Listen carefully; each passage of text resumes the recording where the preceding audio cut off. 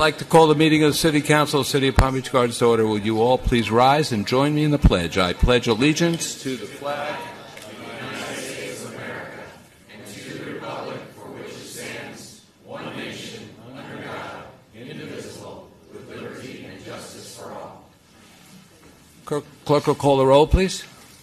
Mayor Jablin, Here. Vice Mayor Levy, Here. Councilmember Russo, Here. Councilmember Premuroso, Here. Councilmember Tinsley. Thank you. Uh, Under additions and deletions and modifications, we have two. Uh, An addition under consent, Resolution 57, 2000, excuse me, 15, granting a utility easement to Florida Power and Light Company for the construction of the Police Tactical Training Center, and a deletion under public hearings on Resolution 46. No, sir, I'm sorry. It- it- No deletions. No, not none, there are none, I'm sorry, modifications on the public hearings. Resolution 46, 2015, proposed change is a request to include one new condition of approval as outlined in the memo provided to each member of the council. The Chair will uh, uh, accept the, Entertain? uh, yes, please. Move additions and modifications. Thank thank you. Moves and seconded, all in favor? Aye. Passes 5-0. Okay. Announcements and presentations. We have some company here tonight. Um, Philip D'Am- D'Amico, the principal of Watson B. Duncan Middle School. He's going to give us an overview of, overview of programs for the upcoming school year. Uh, and Kathy Pasquarello, principal of Timber Trace Elementary. She's going to give us an overview of the upcoming school year as well. You want to take the podium, and it's all yours, sir. Yes, good evening, uh, Mayor and City Council. Uh, my is Philip D'Amico, principal of Watson B. Duncan Middle School.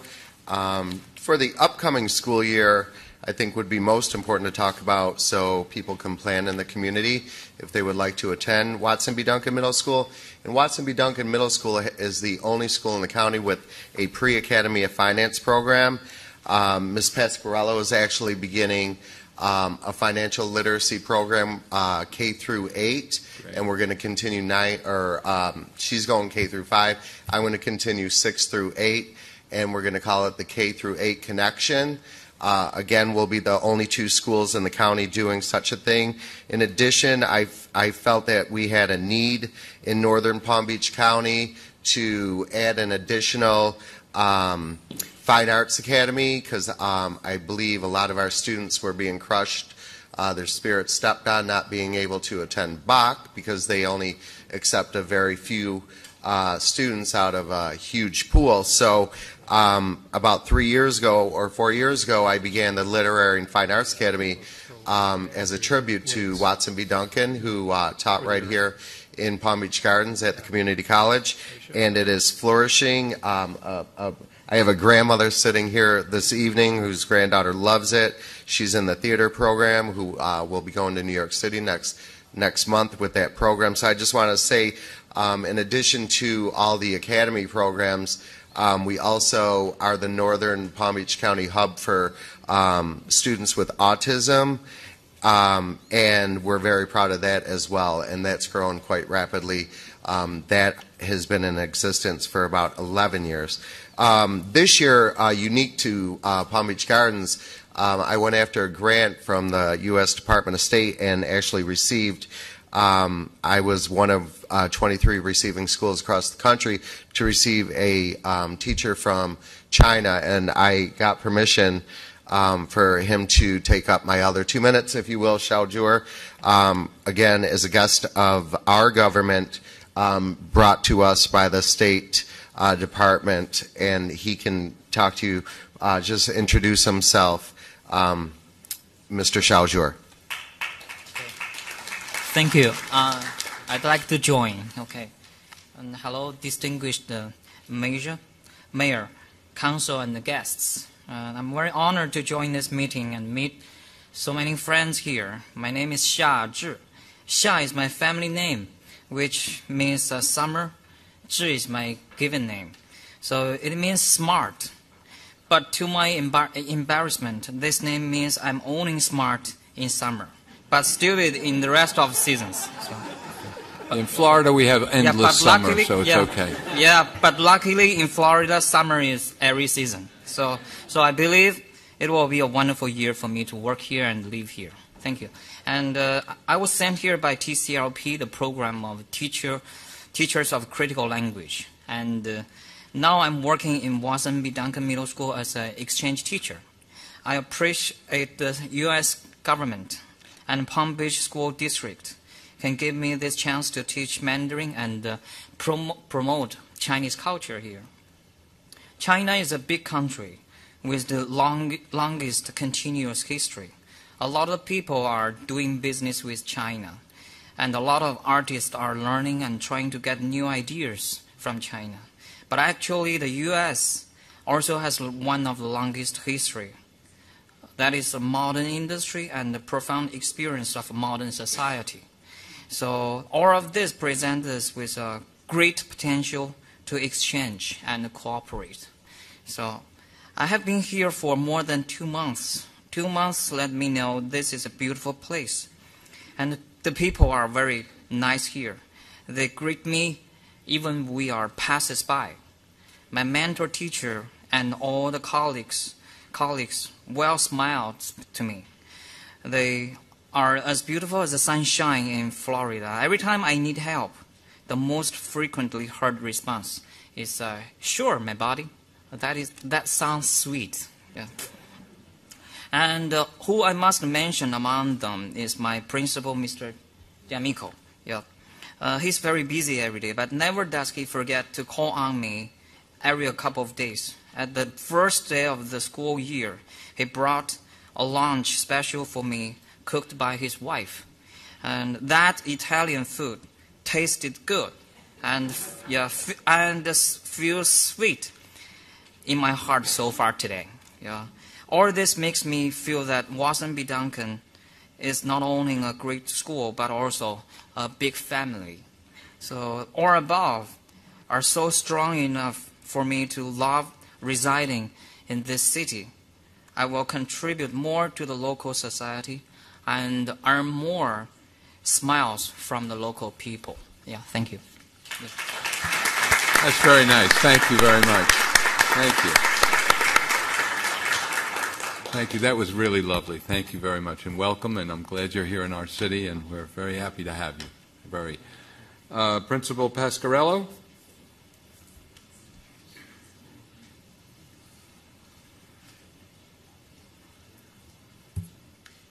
Good evening. And I'd like to thank all of you for having me here this evening and inviting schools from the Palm Beach Gardens community to share a little bit of our special features at the school.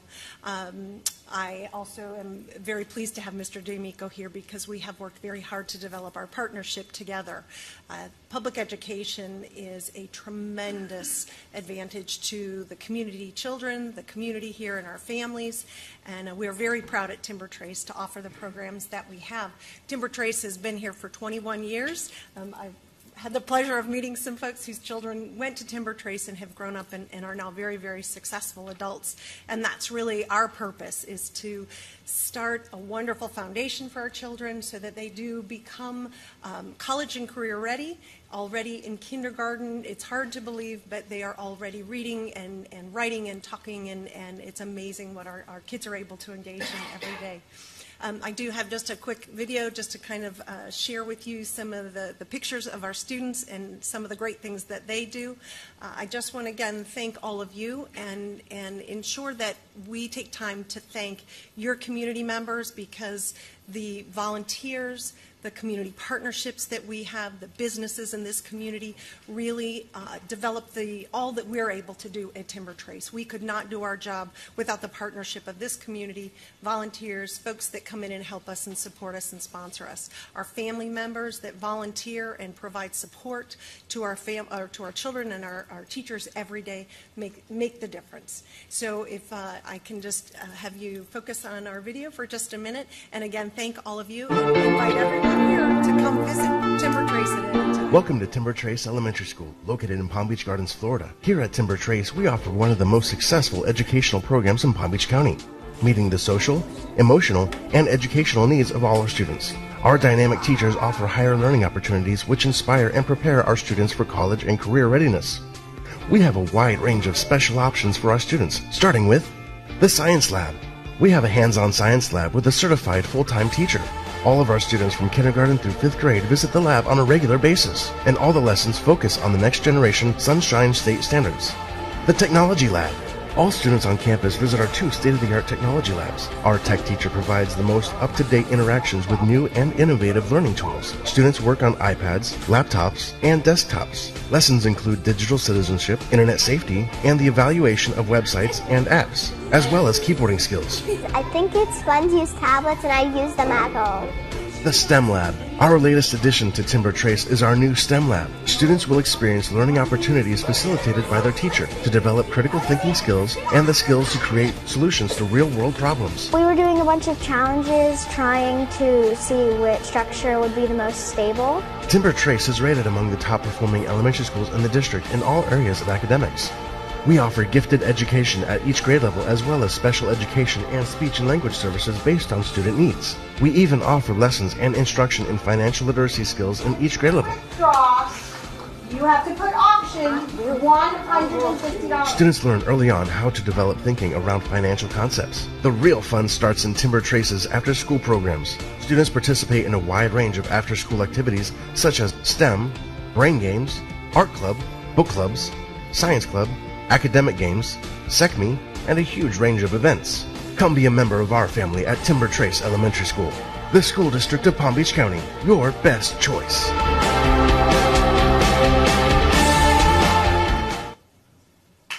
Great.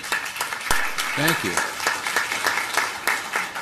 Thank you both for that presentation. You know, um, you know, sometimes as your kids grow older, you feel older because you see how how old they are and remember how young they were. And I remember when both of these schools were built uh, 21 years ago. My God, that makes me feel old. Okay. Um, Before we move on, actually, I did the original phase ones on those, uh, the environmental, but just uh, kind of an update since both my kids went to both of those schools. Well, one graduated from college two years ago, and one's a sophomore up at Florida State right now. So if you want to know where some of your graduates went, uh, both of them. As a matter of fact, I had a child at Timber Trace for 11 straight years. It was almost sad when, when Gail got out. So, so congratulations to both Timber Trace and Duncan. You guys have done a great job. they- they're both wonderful schools, and they enhance uh, the reputation of our, our wonderful city. Thank you very much for that. I appreciate it. Um, uh, next is item of uh, resident interest and board committee reports. Uh, you want to start, David? Yeah, I'm going to be a little long-winded. I went to a League of Cities meeting, and I think there's a couple of things that we as a council probably need to discuss. I want to do that in front of the public, too. Just a couple of quick updates, though. Um, uh, Vice Mayor of Scott Maxwell of Lake Worth was appointed to the League Legislative Committee. Uh, the Reentry Task Force uh, Commissioner, Commission President Sylvia Moffett of West Palm Beach was appointed to that. Uh, she was also appointed to the Homeless Advisory Committee and to the Water Resource uh, Committee. Um, Councilmember Mike Jodry of Glen Ridge and Vice Mayor uh, Myra Kutza of Palm Beach Shores were both appointed to that committee. And as you know, I also serve on that particular committee. Uh, the thing I really wanted to talk about, though, is the county is proposing a half cent sales, a half penny sales tax, which will sunset. Uh, but this is supposed to be used for infrastructure improvements, which the county says that they're about $800 million in arrears on improving their infrastructure. Uh, many of the cities at uh, the last league meeting spoke in favor of it, um, citing things that they're well behind on their infrastructure. and also, there are a lot of cities in this um, county are also close to their tapped out on their mill rate. I don't know if you know that there's a state law that says you can't charge more than 10 mills for municipal services. Um, I did not really speak out on this because I wanted to get guidance from this council uh, because we're in a completely different situation. First off, we've budgeted and we've been taking care of our infrastructure needs. And I did mention this to, to Ron earlier. If this goes through, the city's portion would be $3.8 million approximately per year, um, which is, you know, I- which is money that we'd have to decide what to do with. You know, one of the things that I would be nervous about, of course, is using it for operations, uh, because one day this, will- and hopefully soon, it will sunset. Uh, but I kind of wanted to get some guidance from the council on how I should speak to the league as far as where we stand on this half cent, cent tax. Well, well, David, you're, you're saying that out of, out of a half cent, we're going to wind up with 3.8 million. And I would think there's a restriction that you can't use it for operating because it's for, you know, For it's infrastructure. But we've already budgeted the infrastructure, so I, how do we, I guess we take money out of our infrastructure improvements and put it back into reserves? Because Well, we're, I- look, I don't know. I think it's just a, you know, it's it's a, it's a thing that's that's probably going to happen if all the cities want to support it. I'd just be worried about us getting our fair share, and as long as we get our fair share, then we can figure out what infrastructure we need to deal with. okay. That's the way I feel about it. either that or, you know, you know, maybe, I, I get worried about lowering the millage rate with it because No, you can't. You have to use it for infrastructure. You can't. and That's going to be restrictions. Wouldn't that be for county infrastructure within our city, and they would be the ones Oh, no, doing this is, the work? this is money that the city gets directly. As a matter of fact, I have the breakdown. The county would only get their portion of whatever's just in the county. Yeah. The estimated revenue from the tax, I believe, is going to be $140 million, uh, you know, countywide, 141 million, of which we actually would get, and these are estimates because you never know. You, the other thing about sales tax is that, you know, depending on the, the cycle and what people are buying, it can change. Uh, our estimated tax, and uh, Al, you must have done these numbers because it's $3,777,395. yeah, and twenty-two cents. No. So then you gave us wrong information starting now. Three point eight. I rounded. I rounded up.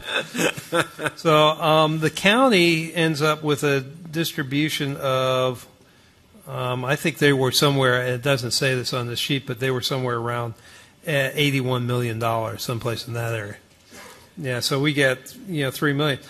But I guess what I'm looking for the council is: Do you want me to support this tax, stay neutral, or I think I think we stay neutral. I Okay. mean, we, you've got other things coming up on the November ballot next year with regards to the schools, um, the county. The, there's other rumors of other divisions. I think we just completely stay out of that. The county wants to go at it alone and, and, and try to uh, get that on the ballot on their discretion, then I think we need to stay out of that. I, I have no way I want to be Yeah, supporting because that. the county, Yeah, I the agree. county and some cities need it and we don't. Right. So I think that. It's not our prerogative. It's not our, pro- it's not Okay. our problem. Plus, I don't like any new taxes. Yeah, I- well, that was my thoughts. You know, it's it, it is another new tax. I, one thing I will try and do because I feel strongly about this is I definitely want to make sure that this sunsets. You know, uh, you know, Virginia Baker gave the presentation, and she was talking about being ten years. The most of the members of the league was talking about no more than five.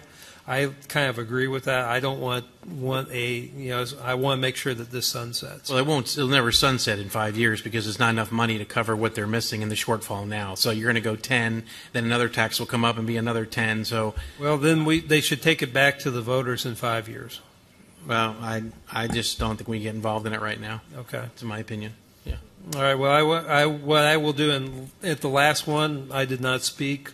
I, there was a vote that I voted yes on, which was to do information. But I will go ahead and I will just vote yes for things, but, you know, the, move it along. But I'm not going to speak for or against this. Okay. Okay. All right. Yeah. All right, well, thank know, y'all. We're, we're very fortunate because we have such great management. I don't want to extol our virtues, but the truth is we don't need it. Um, but we, we will get it if, if, if, if it's countywide. So We will get it, and then we'll have to decide what Decide we're what we're going gonna do do with it. Um, you know, but to me, it's like it, it's like I say, it's a it's a windfall. Yeah. And everything, we got to make sure that we we treat our taxpayers right because our taxpayers have been, you know, we've already budgeted this. So. We'll figure out what to do with it that will give it back to the taxpayers in another form or another. Marcy? Thank you, David. To clarify, we do need it because it's in our budget, so we obviously need infrastructure improvements, but Well, I agree that's with true, ev- whatever, you- what you But guys We have had the said. money to do it. Absolutely. That's- that's why. Okay, um, to totally change the subject, um, you, you know what? I'm sorry, go Marcy. I, I, there was something else, and this is why I had, knew I had a long report too. I also wanted to go over the legislative priorities. Just I'm just going to name them. If anybody wants to discuss them, uh, we can. Uh, public records, you know, to make sure that you know a lot of people are out there abusing public records laws. you know, uh, requesting public records in a funny way so that you don't realize they're public records and then suing because they don't get them. Uh, vacation rentals to make it um, so that local governments can regulate vacation rentals. Uh, location of utilities, you know, there was this big thing that would have really cost the cities a lot of money where we would have been forced to pay for undergrounding of utilities. Uh, economic development, of course, the league is going to support any type of economic development. Uh, pension plan benefits and you know reform. This has been on the league's agenda for six years. Of course, the, city, the cities are going to oppose any unfunded mandates. Uh, one of the things that Marcy brought up a, uh, a few months ago was effective growth management, and I did bring it up to the members of the league that we're very concerned in the city of Palm Beach Gardens about any enclave bills that takes zoning out of our hands. Uh, workforce training, state funding for educational facilities, Amendment One distribution, which you know is, is near and dear to my heart. Uh, beach management, of course, the coastal cities want to make sure the beach is coming in. Of course, we're supporting water quality and supply, uh, septic tanks, removing homes from septic tanks, homes and businesses from septic tanks, internet sales and use taxes, transportation, which is an issue in this county, you know, because of the, the decrease in the gas tax. You know, so now a lot of their, and that's where the county's coming with this half cent sales tax, because the gas tax has dropped, so they can no longer uh, fund a lot of road improvement projects. Communication service and local business tax, gaming and gambling, uh, housing and small city, uh, matter of fact, this is interesting, the uh, block grants that we did, that's one of the things that we're looking for. Uh, sober homes is something else that they're interested in, so that's kind of what the league is doing. Of course, I have this sheet which y'all can request. And you can get it at the league site, anybody can get that, it's uh, uh. Okay, now I'm done. Sorry, Marcy, I didn't mean to cut you off. Mar- talk about this. Okay. I don't know. Um, last Monday, we had a rec um, advisory board meeting. Um, again, for like the second time in a row, we had people show up and voice their opinions, which was really nice to have. Um, we had the local pop tennis group come to request that we add pop tennis to our pickleball courts. Um, believe it or not, pop tennis is becoming very popular, and so they're going to come to our next rec advisory board meeting to do a presentation to to educate us on um, the sport. Um, which would the next rec advisory board meeting is actually October 19th. If anyone's interested in listening to that, um, both of pop tennis and pickleball are extremely popular. Um, we had the meeting before that. We had uh, we had a pickleball group come in and talk. Um, we were also invited to the grand opening of the PGA Nationals pickleball and pop tennis court um, that they've just constructed. Uh, did you know that? That since you live there. yeah, yeah. Um, we discussed our mayor's tournament benefiting our veterans, which is upcoming, and I'll be playing in the Fridays Ladies Nine Then Wine event. And then I'm actually out of town to my daughter's uh, family weekend, so unfortunately I'll be missing the mayor's ten- uh, tournament. But I'm sure you guys will be happy that I'm not there because you'll play better, um, except for David. Marcy, I've been to that family thing over there. You might want to stay Yeah, here. boring. oh, well, hey, I have to go support my child, first year freshman. Um, staff also, uh, in at our rec advisory board meeting, staff shared uh, the state guidelines for park and recreation, and it was really interesting because they compared the state guideline against our cities, and we did extremely well. We should be very proud of our facilities that we have there. And we were only shy in all of the categories that the state had. We were only shy in three of them. One was multi-purpose fields, which we're going to be fixing with city parks, so that's a wonderful thing. Um, the other one was freshwater uh, fishing, which I disagreed with because we have so many communities that have lakes. We have a 36-acre lake, and there's always someone fishing in our uh, neighborhood. And so I'm sure other communities have the same thing in their freshwater lakes. And saltwater beach, which, of course, we have no control over. So um, I think we did absolutely fabulous uh, comparing ourselves to that guideline. Um, I attended Virginia Baker's welcome party, which um, hundreds of people attended. It was uh, a, beautiful event. I also attended Bob Weisman's um, retirement party. Sad, but um, he it was a fundraiser for the Homeless Coalition, and it, it was a momentous occasion. I'm glad I attended. Um, all of us, except for Joe, as you can see in the picture, attended uh, the Green Market grand opening, but you're usually there, so I'm sure you had an excellent excuse because I know you liked that event. Um, and uh, right here in our city hall, staff did a fabulous job um, with that event. We had Spoto's. Thank you to Spoto's for uh, providing the grilled shrimp, which was delicious. I don't think I can ever uh, emulate that recipe, but it was very good. And uh, thank you very much to Palm Beach Gardens uh, Medical Center for the donation of the $30,000 uh, sponsorship, which you can see the humongous check right there in the photo. And last but not certainly least, uh, Bert and I celebrated an anniversary yesterday. Um, so a little uh, to We're our, not together, to our way. Respected yeah, just- just spouses. I'm going to add. So I wanted to wish you and Linda a happy anniversary and a call out to my husband for happy anniversary. You know, Marcy, I'm a little concerned about the not having you know enough beach. Yeah. So We maybe should annex. we should annex. I know annexation is good. I think we should annex John MacArthur Beach. Ron, we need to get on that. Yeah. Maybe we can annex North Palm. Do you think they'd care?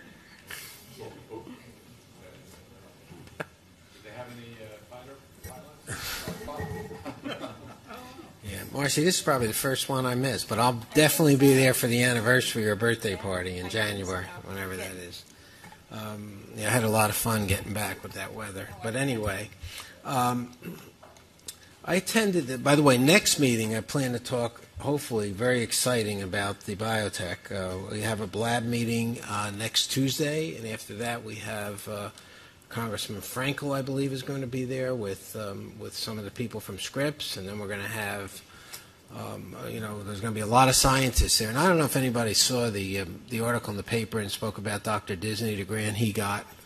Uh, I will tell you that there's going to be a day in the near future, some future, that he's going to get a Nobel Prize. I mean, he is he is just so talented and we're so lucky to have him in our area. Not to mention the other scientists that are there. It's just amazing to me. But hopefully, next meeting, I'm going to have some exciting things to talk about. I will tell you something that I think is exciting. Is I attended a Honda Classic meeting, and you know, Honda Classic has grown from being a, a, a just okay golf tournament to being one of the best golf tournaments on the tour. As you know, I've said it's it's the um, on on the, the television ratings are the, are the best of any tour event non-major, of course, other than a non-major.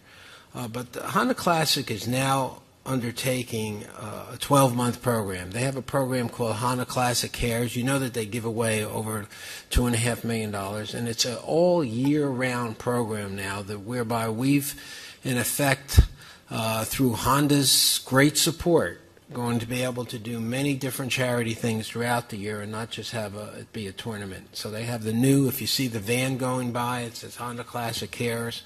And it's just great to see this event that came to our city that brings us economic impact.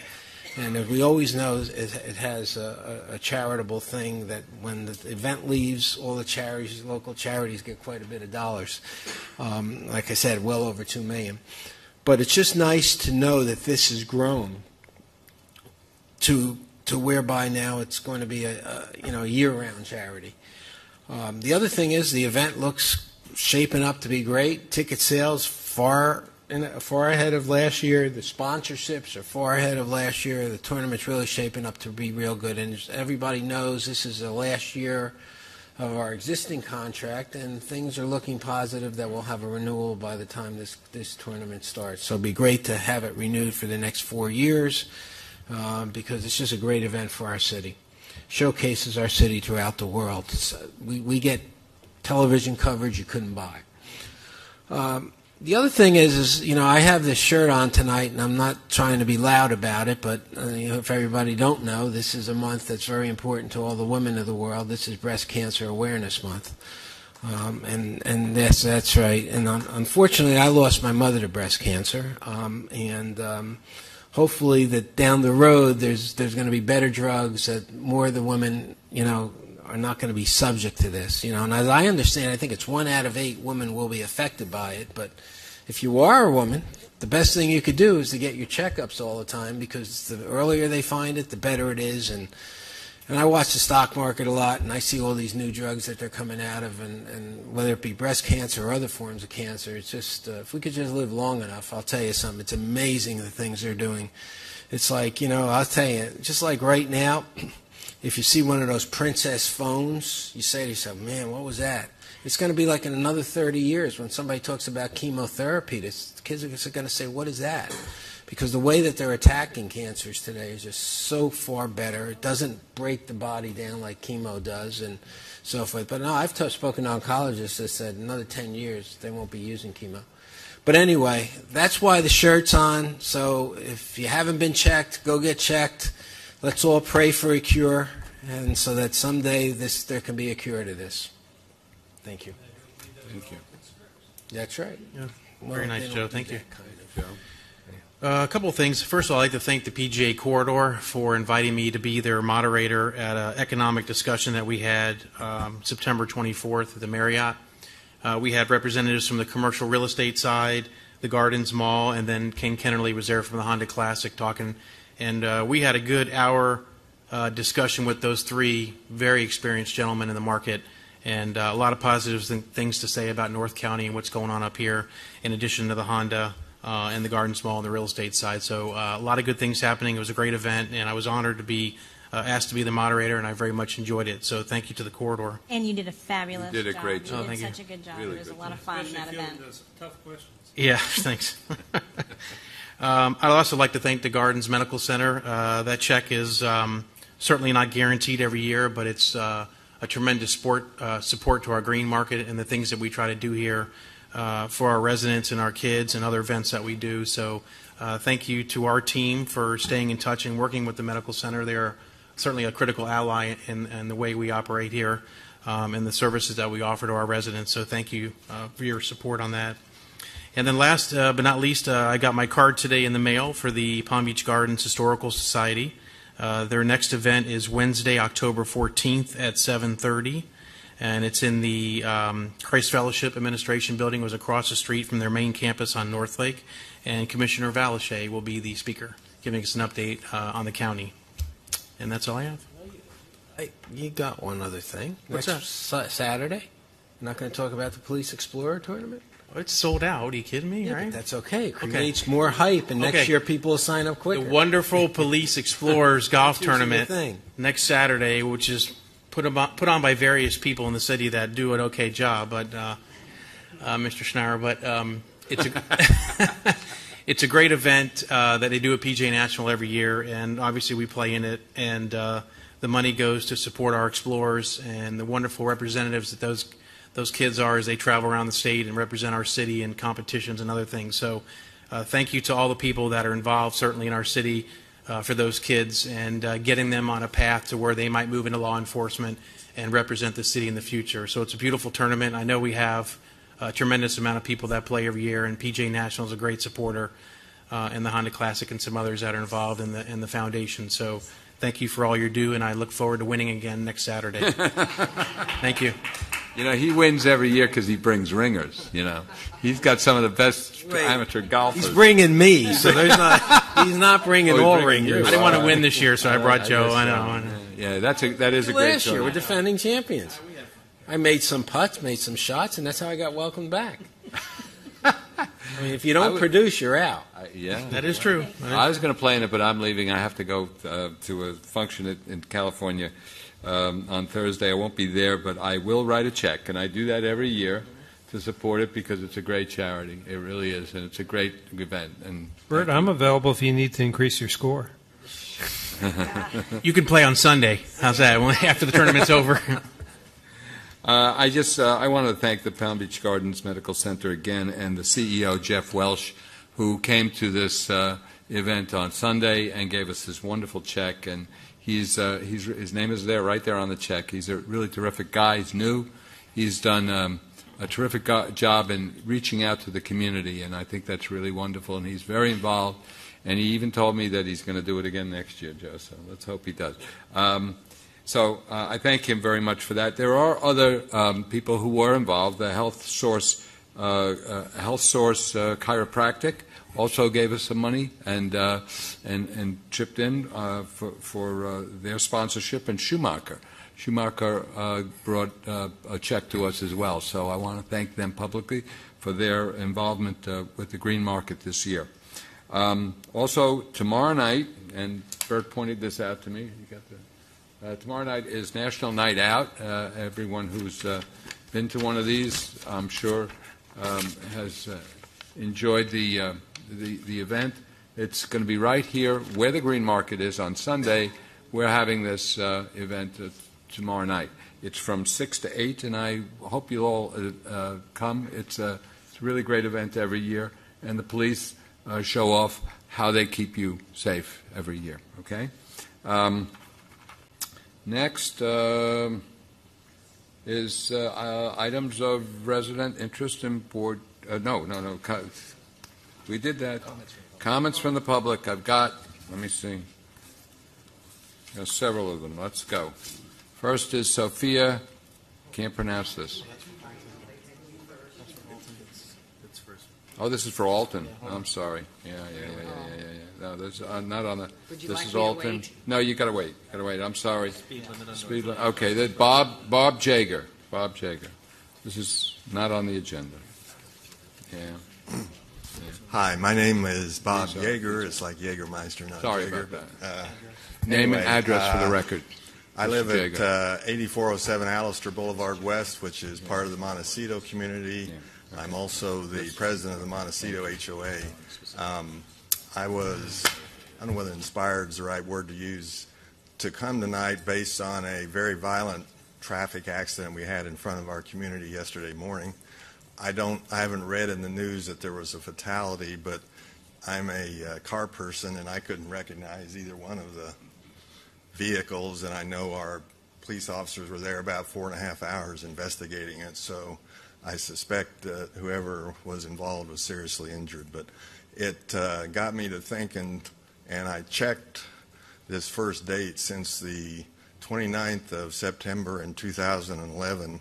If you start at Steeplechase, which is just west of the Turnpike, I mean east of the Turnpike, over to our entrance, which which is just west of the Turnpike, there's been four fatalities on that um, strip of North Lake, maybe more depending on the outcome of the accident yesterday. But what really got me to thinking that got me here tonight, the fortunately yesterday the accident was in the westbound lane and the thrust of the vehicles was to the northwest of the intersection. Uh, but one of the vehicles would have been up in PGA Park there uh, if it hadn't of where, as you all know, if it had been a weekend, there would have been hundreds of kids there playing, but it wrapped itself around a uh, traffic sign that was there. I think it was an SUV, but I'm not sure. Couldn't tell. Um, I was leaving to go to breakfast with some friends about 8:30 is when, I saw it. But the other thing that struck me when I turned right going out of our neighborhood, I wanted to actually go to PGA, but I couldn't get there. There were like 10 or 12. Uh, these would have been middle school kids at that time in the morning waiting for their bus on the southeast corner. Um, if that accident had happened going the other way, and I think that bus goes to Duncan, why, um, who knows what would have happened. Uh, anyway, my I know that's a county road. That's not. I'm pretty sure that's a county road. That's not a city road. So you guys don't control the speed limit, but my request would be to the speed limit there is 55, which I just believe is far too um, fast for as congested it has been. Once you get west of Ryder Cup, um, there's nothing there. I mean, even the new jog road, which kind of goes nowhere down there, the speed limit is 45 on it. Um, that before something more tragic, I said we've already had four fatalities, maybe more, based on yesterday, that uh, um, Mr. Ferris, through his engineering department, contact the county and see if they wouldn't consider lowering the speed limit on that section of the highway. Uh, This, uh, Yes, um, Mr. Yeager, I, I saw that same accident. I probably left my house uh, probably when you did. It was around 8:30. Right. It was just before 8:30. It was a mangled mess. I've never seen anything right. up front like that. I've seen pictures, but never like that. The whole front of the car was gone. It was just awful, and I was praying for whoever was in that car because Yeah, it we- was just you may awful. have missed the other one that was clear up in the bushes on. the- Yeah, yeah, I know.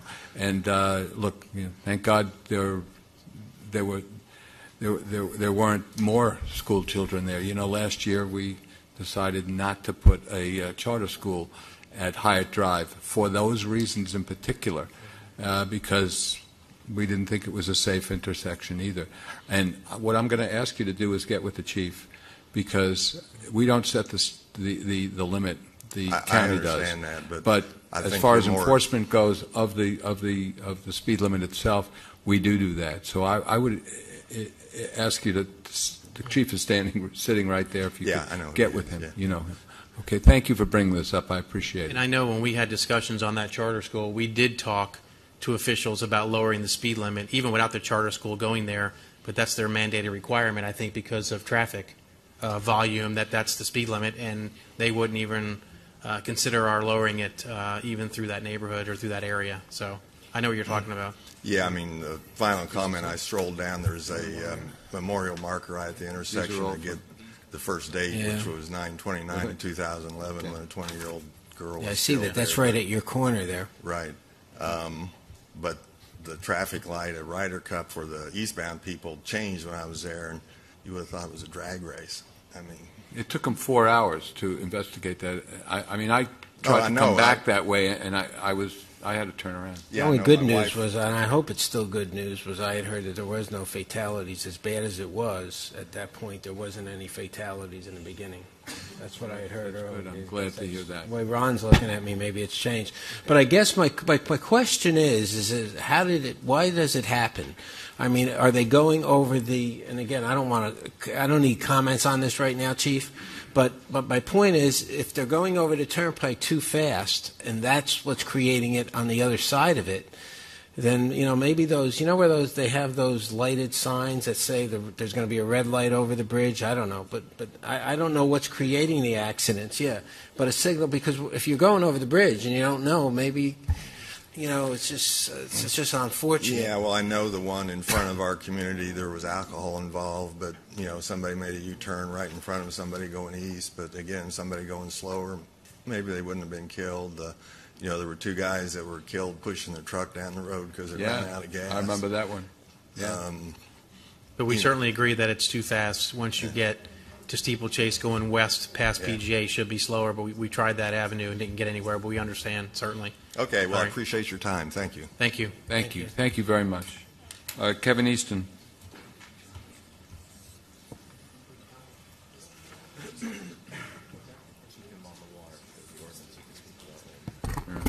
Good evening. For the record, Kevin Easton, 8511 40th Terrace North, Palm Beach Gardens. Uh, all of my neighbors are very excited to uh, see the water flowing out of the fire hydrants out there. And uh, the communication isn't very good between the city and the residents. Uh, they've asked me to find out uh, when uh, do you expect the water to begin to flow into the houses? That was one question. The other one is how long, they wanted to know how long before the cul-de-sac on Sunset is due to be finished, and has a contract been signed yet for that cul-de-sac?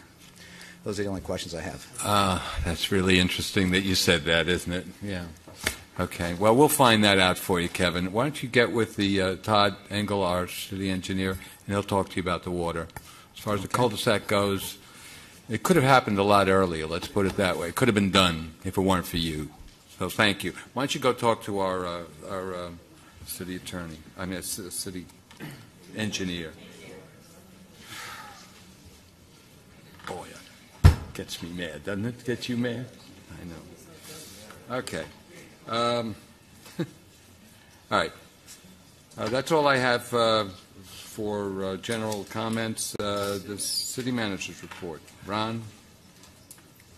Well, I do have a few uh, very quick announcements to make, but you, four of you, five of you already made them for me, so I don't have much to say. Uh, the first thing is National Night Out, I think, and uh, you've already told them this. Tomorrow from 6 to 8.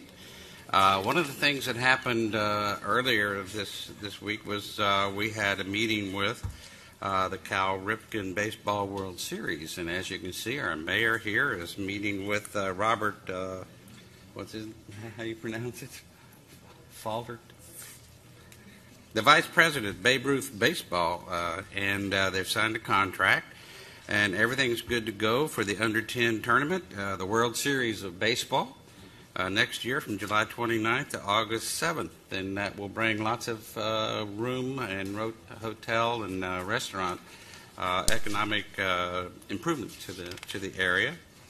As mentioned earlier, we have our 10th annual Veterans Classic weekend, and it's more of a weekend than a tournament nowadays. But we have managed to raise two, over $200,000 over the past nine years to uh, provide the um, the Veterans uh, Hospital with uh, funds to do things the federal government won't allow them to do.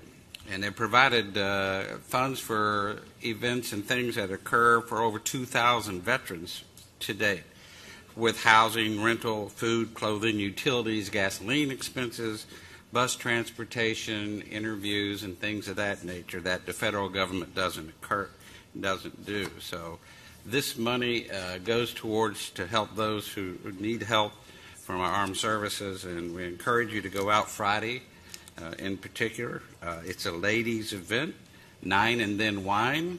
I'm kind of jealous I can't attend to that one. Uh, the Golf Classic is Saturday. On Sunday, they have a junior tournament as well. The other issue I'd like to bring to your attention, as I did at the last meeting we had, uh, we have the new insurance consumer advocate, Sha'Ron James, coming to the city on Monday. Uh, the 12th is coming Monday from 5:30 to 7. The importance of this, uh, Sha'Ron works for Jeff Atwater, as you know, our CFO for the state. The importance of Sha'Ron's uh, visit here is to gain information from uh, citizens and constituents alike about any insurance issue that you may have or concern or recommendation uh, and it covers everything from automobile insurance to flood insurance, wind insurance, hurricane insurance. If you've had a bad experience um, and uh, you bring it to Sha'Ron's attention, she is your advocate in the state to bring those problems to the state and see if she can do something to help. Also, I would like to remind everyone that the Planning and Zoning Board of Appeals will be having a public workshop. The public is invited to come and hear the presentation of the Avenir project. That's Tuesday, the 13th, right here in this chambers at 6 o'clock. So the public's invited to, to come and uh, hear all the details that are going on with the current application from Avenir. Also, I want to alert you that uh, work will begin on uh, October the 19th on PGA Boulevard at the C18 Canal. They're going to start with uh, construction of the bridge. Uh, as you know, they're going to elevate the entire road from, from that point west out to the Beeline. But for now, they're focusing on the bridge. They'll be working from 7 till 7. Uh, there'll be uh, a temporary road constructed so that uh, we'll be able to, uh, with the assistance of a flagman, be able to get through there. And again, this is about almost two miles of construction. The project itself is a little over $9 million, and it's going to take a long time to get done. But in the meantime, they're, they're going to start with the bridge on the 19th. So there will be some traffic uh, issues there. They'll need to slow down and watch the flagman from 7 to 7. They will be leaving it open at night uh, for people to be, get by. Also, I would like to bring to your attention a couple of things that I'd like to bring Candace Temple, our Media Relations and Communication Manager, uh, to the microphone. She has a couple of uh, very, very interesting announcements to make. Candace. Very interesting. Good evening, Mayor and Council. Several years ago, the city published a magazine called Signature City. The last time Signature City was seen by residents was in 2008. When budget cuts eliminated the marketing position in the city, the publication went along with it. Based on the response we received to our January resident opinion survey, where the number one preferred method of receiving information from the city was uh, listed as via mail. It was decided to revive Signature City. The goal for the magazine is to educate and engage the public. Unlike the past model, we will not include the Recreation Department class and activity schedule. They are currently producing their own newsletter uh, called Gardens Life to fulfill this mission. Our magazine will aim to provide a citywide view of topics of general public interest. And um, this is the masthead that you see uh, on your screen that we've designed for the publication. As you know, the masthead appears at the top of the magazine. It will also be uh, the way we will brand the magazine elsewhere. This item was budgeted in FY 15-16, and the first issue is anticipated to be in homes the week of October 18th. We will have additional copies on hand for distribution to city buildings, and we will also place these in strategic business locations such as the college, uh, the hospital, doctor's offices, etc.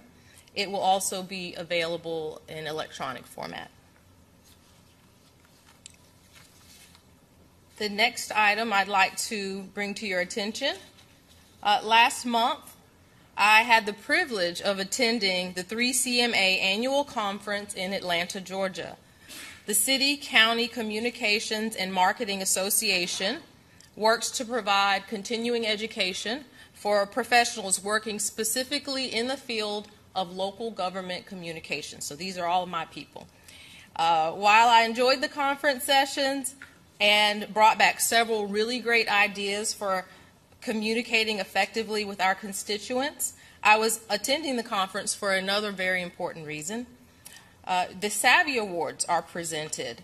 Of the four applications submitted by the city, we received word that we were in the top three finalists for the category of graphic design. I am thrilled to report that we won first place in this category for the Gardens Green Market logo. There it is. Uh, and here's what the judges had to say Beautiful colors reminds us of a beautiful garden, well thought out and easily translated across multiple formats. It is imaginative and simple. I'm sure you can imagine how excited I was to walk down the red carpet. Yes, they had a red carpet and accept the Savvy Award on behalf of Palm Beach Gardens. But in case you can't imagine it, I have a picture. There I am.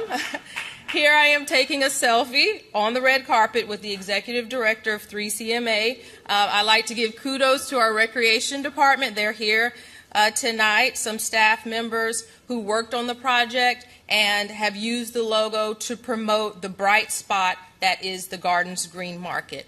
Thank you for taking time to let me share our success with you. Thank you. Really wonderful job. We have some incredible people working in this city, and uh, we thank you all for that. That's really great. Uh, that's that's exciting news. It really is. And that signature magazine, I think, is going to be super. I mean, everyone loved it before, and now it's back. I think it's going to be uh, very well read. Thank you very much, Candace. I appreciate it. Okay. Um, next is the consent agenda. Move consent. Second. Moved and seconded. All in favor? Aye. Passes 5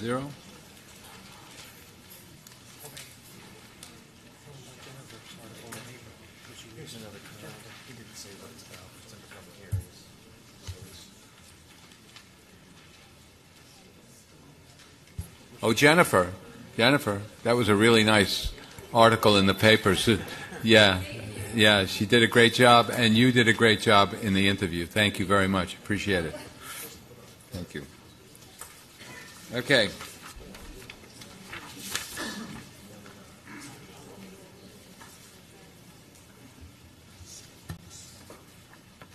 Next public hearings. Tonight we're holding quasi-judicial hearings on the following cases. Resolution, Resolution 44, 2015, Amendment to the Alton Plan Community Development. Resolution 45, 2015, approval for a 353-unit apartment complex. Resolution 46, 2015, approval of a 241,400 square foot Center for Intelligent Buildings Technology Complex. This means that the City Council is required by law to base its decision on the evidence contained in the record of this proceeding, which consists of the testimony at this hearing, the materials which are in the official city file on this application, and any documents presented during this hearing. The Council is also required by law to allow cross-examination of any witnesses who testify tonight.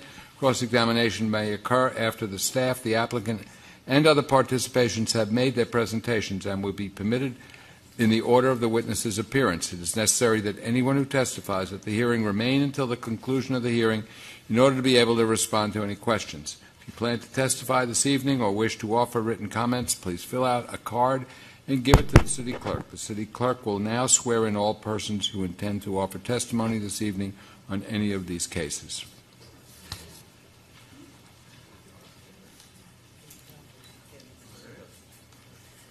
Do you solemnly swear to tell the truth, the whole truth, and nothing but the truth, so help you God?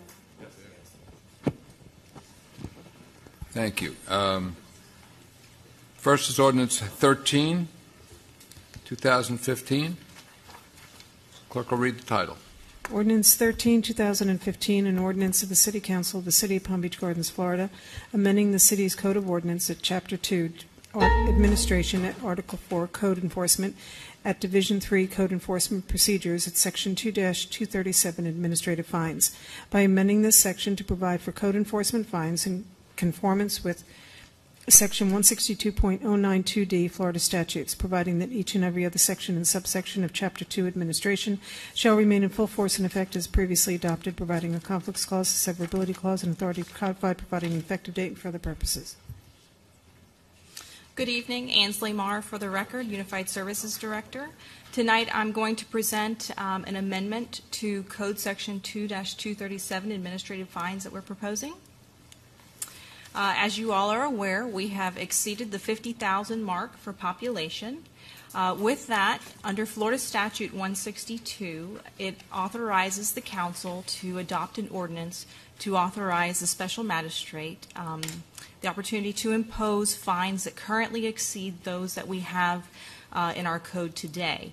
Um, As you're aware, we impose fines on violators who fail to comply with orders that are presented or submitted by the magistrate um, in regards to code violations.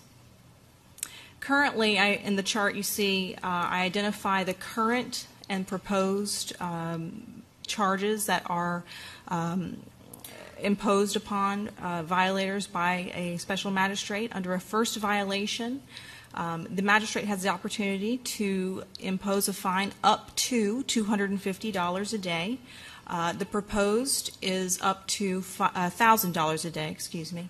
And that comes into play once the special magistrate has put an order in and has said you need to comply by a certain date.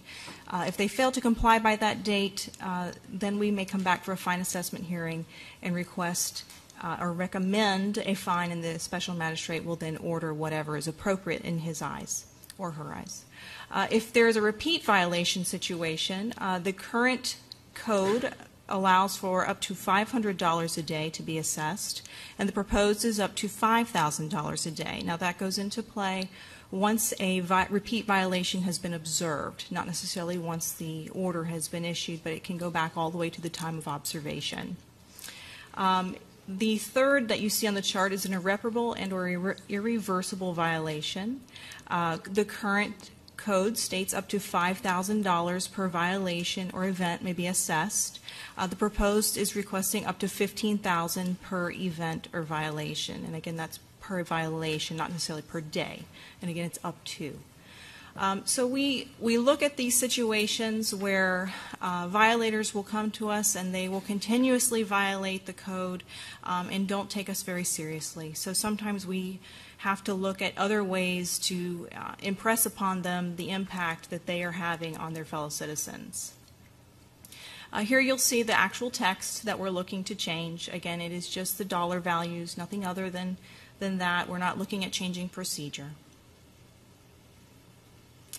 Um, very short presentation, but other than that, the staff recommends approval of the proposed changes unless you have some questions. Any questions, staff? I have one. Yes, Sorry, sir. I forgot to ask this yesterday, but That's okay. um, you're saying up to certain amounts, 5,000, 15,000. Why don't Yes, we sir. just make a unlimited? Is that, is that required by law to have a The cap in there? statute limits it, yes, does. sir. So Florida that's the statute limits in the limits it. statute based on our population? Yes, sir, and we are following in line with that statute. But the magistrate could always obviously lower that if he thinks He it's could. excessive or something like that? Yes, sir, he Okay. does, and often he does. We Okay. may make a recommendation of higher, and he makes on his judgment what he thinks is appropriate. Okay. Thank you very much. Any other questions? No? Okay, this is a public hearing. I'm going to open the public hearing. Anyone wishing to speak on this item? I have one card. Uh, Kevin Easton.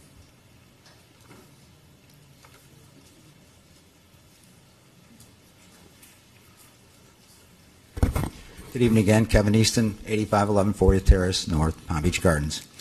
Uh, I just, uh, when I was reading this thing here, I, I, I just feel that uh, i it's more punitive than it is helpful in, in getting the people. Uh, if somebody's violated the code, I'm sure they're trying to get the violations fixed. And if you impose a greater fee on, on these people, it's not going to help anything. Uh, uh, I just don't see how that works. Uh, uh, Another thing was the administrative charges. Are they also going to go up as well? Because um, I'm not sure how that works. Uh, I know that th- they said that they had to impose some administrative charges because I had left a ladder on the side of my house, and I did correct the code. But now, what happens if I leave the ladder on the side of, the, of my garage again? Do they come back and they fine me $5,000 because it's a repeat violation? I don't see where this really is, is beneficial, and I think it's more punitive uh, in nature. Uh, it, it inflicts needless stress on the people uh, that are already in distress. Uh, people don't want to be code violators. I'm sure they don't, you know. And if they do, well, then you have the laws, and the special magistrate can fine them up to $5,000. Uh, why does it need to be 15,000? I'm sure that again you're putting people in a bind more than you are helping them. And I thought this was supposed to be a kind and gentler city, which I don't see happening here. Just because we went over 50,000 doesn't really mean anything. Uh, you know, we still have the, the people still want to take care of their property, and and I, and I just don't see it. Uh, we had a code officer, uh, Nyria Chavez. I tried to talk to her. We were trying to, to work this out with the eminent domain, with the trees, with this and that, and she made me cut the tree down, part of the tree down. She made me paint the house when we were we were in construction. There was dirt flying, but she made me. Now she's not even on the force, okay, or she's not even on code enforcement. They don't get trained, but it is subjective. I mean, if the code officer drives down, he can write that ladder up, or he can just keep right on going.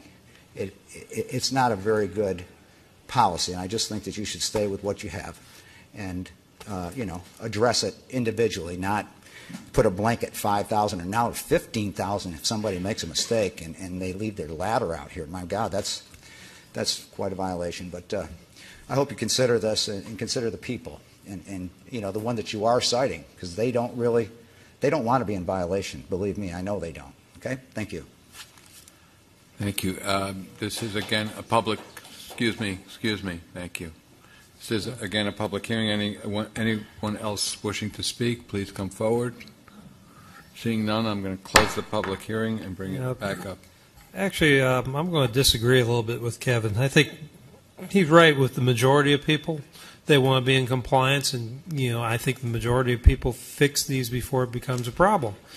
Uh, but there are people out there that, for whatever reason, do not believe that they need to come into compliance, much to the chagrin of their neighbors and much to the chagrin of, of other members of the city. And the other thing about this, too, is, you know, oftentimes what we have is we have houses that are foreclosed on. They're foreclosed by banks that are not in the city, and we need to get their attention to get them to fix the pool, you know, which may be breeding mosquitoes, or to mow the yard, which may um, uh, be infested with vermin. You know, I've had houses in my neighborhood that were like that. You know, where they were foreclosed upon and nobody was taking care of them. The city had to come in here. I think that sometimes we need to give the special magistrate as many tools as we possibly can. And, and generally speaking, the special magistrate does not go up to the maximum fine. If it's someone that that will that is working to be in compliance, I believe that someone who's trying to be in compliance shouldn't be fined. And uh, you know, as a matter of fact, I, I'm going to have to say this with our city. You know, as far as kinder and gentler, people who sometimes get code violations who can't fix them either because of financial means or they physically just can't do it. Our city people come out there, they volunteer, and they help paint and they help fix up the house to bring them back into code. So, you know, I think we need these tools. I'm going to tell you, I, I think we need these tools. And you know, I there was a business in here uh, a couple of years back that played their music too loud. You know, and I think that they just said, "We'll just pay the darn fine." Yeah, cost of doing business. We'll just pay the fine. Well, let's make it a little harder on them to irritate their neighbors. You know, and play loud music past twelve and keep people up. Well, you know, I, it doesn't. We don't have to use that fine. I think that, you know, the the magistrate who is trained in this understands. Um, what fines should be imposed and what fines shouldn't be imposed. And the, the other thing is, I don't think the administration fees are changing at all because this is just the, the maximum amount of fine. So, with that statement, I'm going to move Ordinance 13, 2015 on first reading. And I, Moved and seconded. All in favor? Aye. Passes 5-0. Thank you. Okay, next is Resolution 44, 2015. Clerk will read the, rec- read the title. Resolution 44, 2015, a resolution of the City Council of the City of Palm Beach Gardens, Florida, approving an amendment to the Alton Plan Community Development PCD in order to convert four multifamily dwelling units to three additional apartment units within Parcel C, incorporate additional premier, primary, and secondary street typical cross sections within the design guidelines and include a modification to PCD buffer B1. The Alton PCD is located south of Donald Ross Road, north of Hood Road, and east and west of Interstate 95, providing an effective date and further purposes. Thank you, Patty. This is a public hearing. I'm going to open the public hearing and ask for any ex partes. yes, this one and also the next one, which I'll do. Um, ex parte spoke with Ann Booth, Ken Tuma, Carolyn Villanueva a long, long, long time ago. Um, Juan Porro, is that how you say it? And well, which are the owners and the, and the agents. Joe? None. None. None. I, I did meet with staff and, uh, and, the- and the petitioner as well at, uh, at- at City Hall. Okay, um, Ann, you're up. Good evening. For the record, my name is Ann Booth. I'm with Urban Design Kilday Studios, and I'm here tonight to represent the applicant in this application. I'd like to request it, uh, your permission to make the presentation for both resolutions as one uh, presentation with votes separately, if that's okay. Okay with the council? Yes, please, do. And you've been sworn in, correct, Ann? I Yeah. have been sworn. Thank you, ma'am. We're here tonight to request uh, a PCD amendment which will allow the conversion of four multifamily dwelling units into three apartment units. That will allow for 353 apartments to be constructed on the parcel that we're presenting to you tonight as part of the site plan application. Also, part of the PCD amendment is a uh, modification of the cross sections of typical streets, which are part of the design guidelines and a slight modification to buffer B1, uh, which is a requirement based on utility modifications that we've had to uh, incorporate. We also have the site plan application, which includes two waivers. Uh, the location of the site is within the Alton PCD. It is centrally located, and as you can see from the aerial, uh, there are a number of things that are under construction. The roadways, the single-family development, and the multifamily uh, townhomes to the south, and the lake systems uh, are all uh, underway and, and making great progress. The Atlantico project is uh, an apartment complex. It is strategically located to between the single family and the town, home, town center commercial development. It is all part of Parcel C. You approved the single family homes as part of Parcel C back in June of 2014. Uh, the overall project, in terms of Alton altogether, was approved in 2010. Since that time, they've been working diligently to get their uh, permits and, and start construction, and so, as I mentioned earlier, things are definitely underway.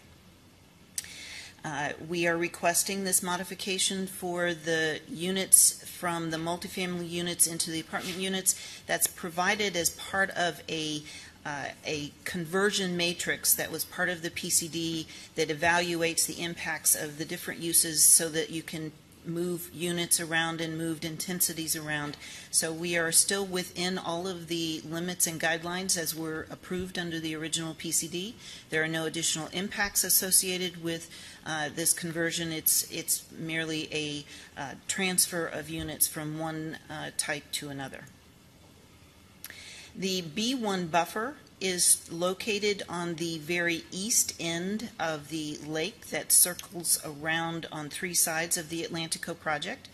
Uh, there is a Florida Power and Light transmission line that runs north and south along the east boundary of the site that has specific limitations in terms of where the trees can go within proximity to those lines. The original concept had trees that were uh, too large that were within that space of the distance to the power lines, so we are proposing to shift the plant material. It will remain consistent with species, quantities. It's just moving things around so that it is outside the limits of the uh, offset for the trees from the line. The cross sections, uh, as submitted and approved by you previously, did not include a cross-section for the type of development that we're proposing on the Premier Street. The Premier Street is a cross-section that includes residential structures on either side, uh, so we are proposing to add an additional cross-section that addresses the, uh, the section that we're proposing. And we've also uh, made it as consistent with the other design sections uh, in the guidelines as possible.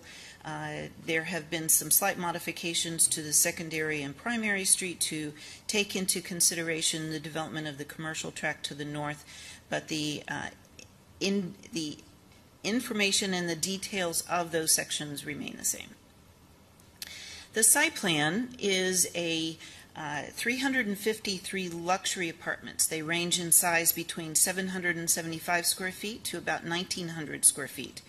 There are eight four-story buildings and two three-story buildings.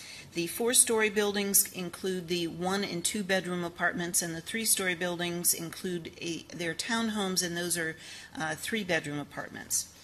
Pricing for the units begin around 1500 and go up to about 2500 as a starting point uh, between the one-bedroom and the three-bedroom units.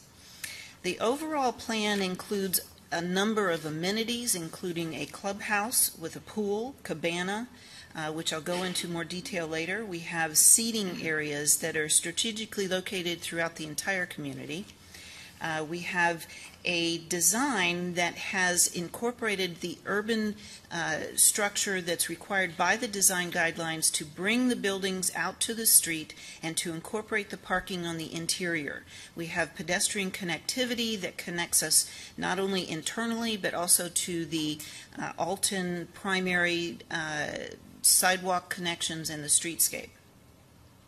We have uh, freestanding garages that are provided uh, as an option to individual tenants. We also have gates that are provided on the entrance points. We have uh, two main entrance points off of the Premier Road and two secondary entrance points, one off of the primary street and one off of the secondary street. The primary street access is uh, exit only. The secondary street uh, access is an ingress and egress. We are requesting a waiver for the stacking distance on the secondary street access, which is on the east end. Uh, the secondary street access is a secondary street, as it's called. Uh, we don't know the name of what that will be at this point, and it is on the backside of the commercial development. Uh, we do not anticipate that that access point will receive a lot of traffic. Uh, the two buildings that are on the east end of that project are probably the units that may use that access point uh, uh, more than anyone else. Uh, the secondary access points do provide for a better flow of circulation through the site.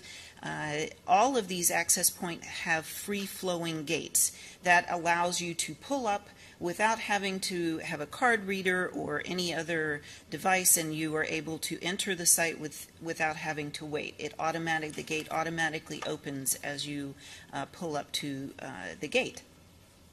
We're asking, also asking for a waiver for the tree diamonds uh, that are in the, the longer sections of parking bays. We've increased the space of the islands that the trees are located in, but we've provided the diamonds in strategic locations with, within every 10 spaces. The code requires uh, an island for every nine spaces.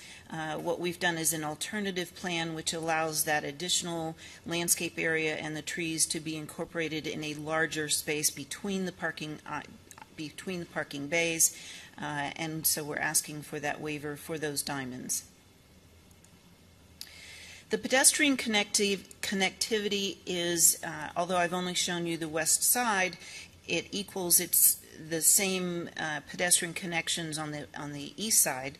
Uh, we have connections that go out to the lake path that goes all the way around the site and connects out to the Alton Road and Alton circulation uh, for all of their sidewalks through the community. We also have internal connections which connect to the pathways and the sidewalks that go around the property. And we have sidewalk connections that are on the Premier Street. On the uh, west side of the Premier Street, we have an eight foot path that connects to the eight foot path around the lake.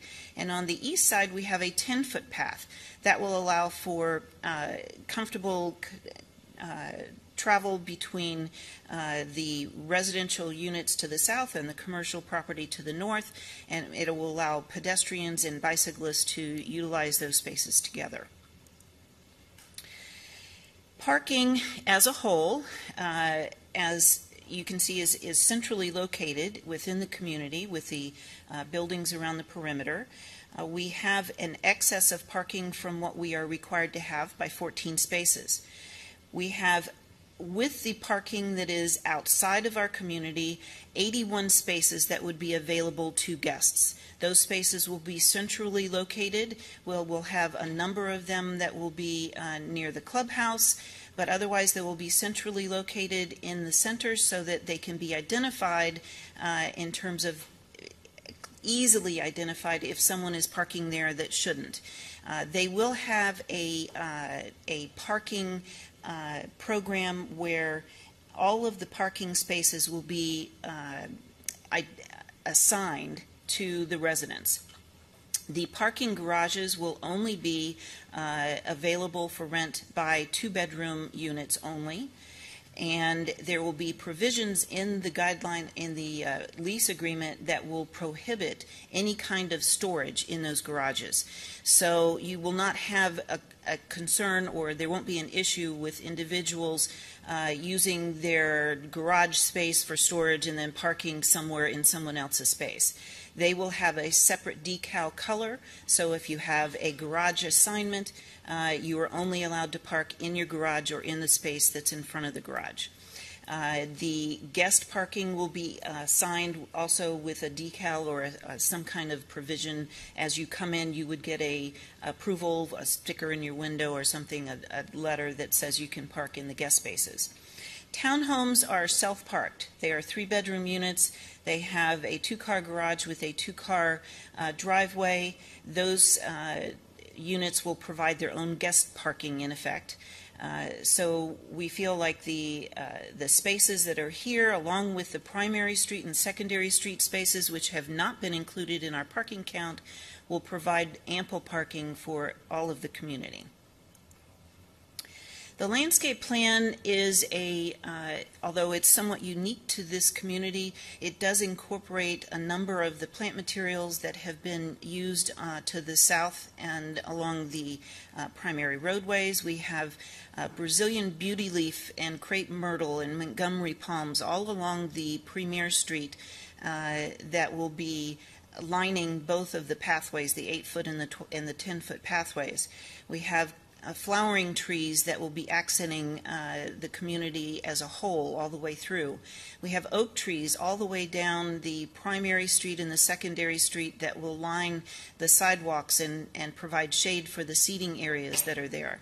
We have additional seating areas that have special treatments at the main entry by the uh, bridge that comes across the Premier Street. And we have a uh, very tropical planting uh, concept around the pool and the cabana that includes coconuts and date palms and Alexander and Montgomery palms. Uh, at both entries on the north and the south, there are specimen date palms and we've taken uh, special care to treat the uh, the sitting areas in the perimeter and around the on the streetscape uh, with trees to allow for shade and, and comfort for people who want to go and sit on the benches. We have a number of common areas that have been provided. Uh, they include sitting areas in passive park areas. We have a tot lot, a dog park, uh, we have a gazebo and a fountain on either end of the, uh, the east-west axis. Uh, the pool, the gazebo, the barbecue area, and the cabanas, uh, those are all connected to the clubhouse. And we have a number of these seating areas that have provided around the lake that are in addition to the ones that the master developer is providing, but will be consistent with the, uh, the theme that they have already started. The architecture for the project uh, is a uh, California Mediterranean style. It includes balconies and facade variations that give you that depth and, and character uh, on all four sides of the building. All of the entrances will be secured, and uh, the actual entrance into the building for the upper levels will be separate from the entrance of the ground floor units that will have uh, their own private entries and low walls that will create a little private space for them that will allow them to integrate uh, themselves with the street and uh, create that urban feeling that's been desired here in the community. The entry from the parking, as I mentioned, is uh, four-sided. There is architectural treatment on all sides of the building. Uh, as you can see, there are uh, articulated arches and accent windows. Uh, the gates have been designed to uh, be an architectural feature of the building, uh, and we feel like it's going to be a, an, an amazing addition to this community. At the main rotary, as you come in off the primary street, uh, the corners of the building have been rounded to take into account that interaction with the street and to and the rotary design that's there. The uh, the entry features at the corners have incorporated spaces for people to sit.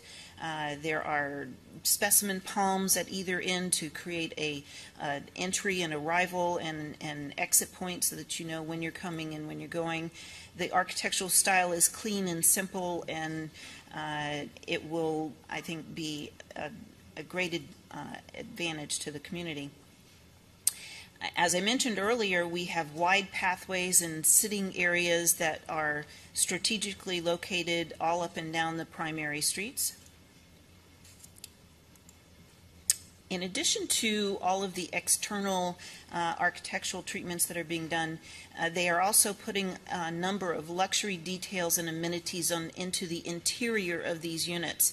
Uh, they'll be including stainless steel appliances, European style cabinets, wood, stone, marble, all of the things that you would come to expect in a luxury apartment complex. These photographs come from a development uh, that is a sister development to this one, which is built in Delray, and it will be very similar to uh, that project that will be uh, duplicated here.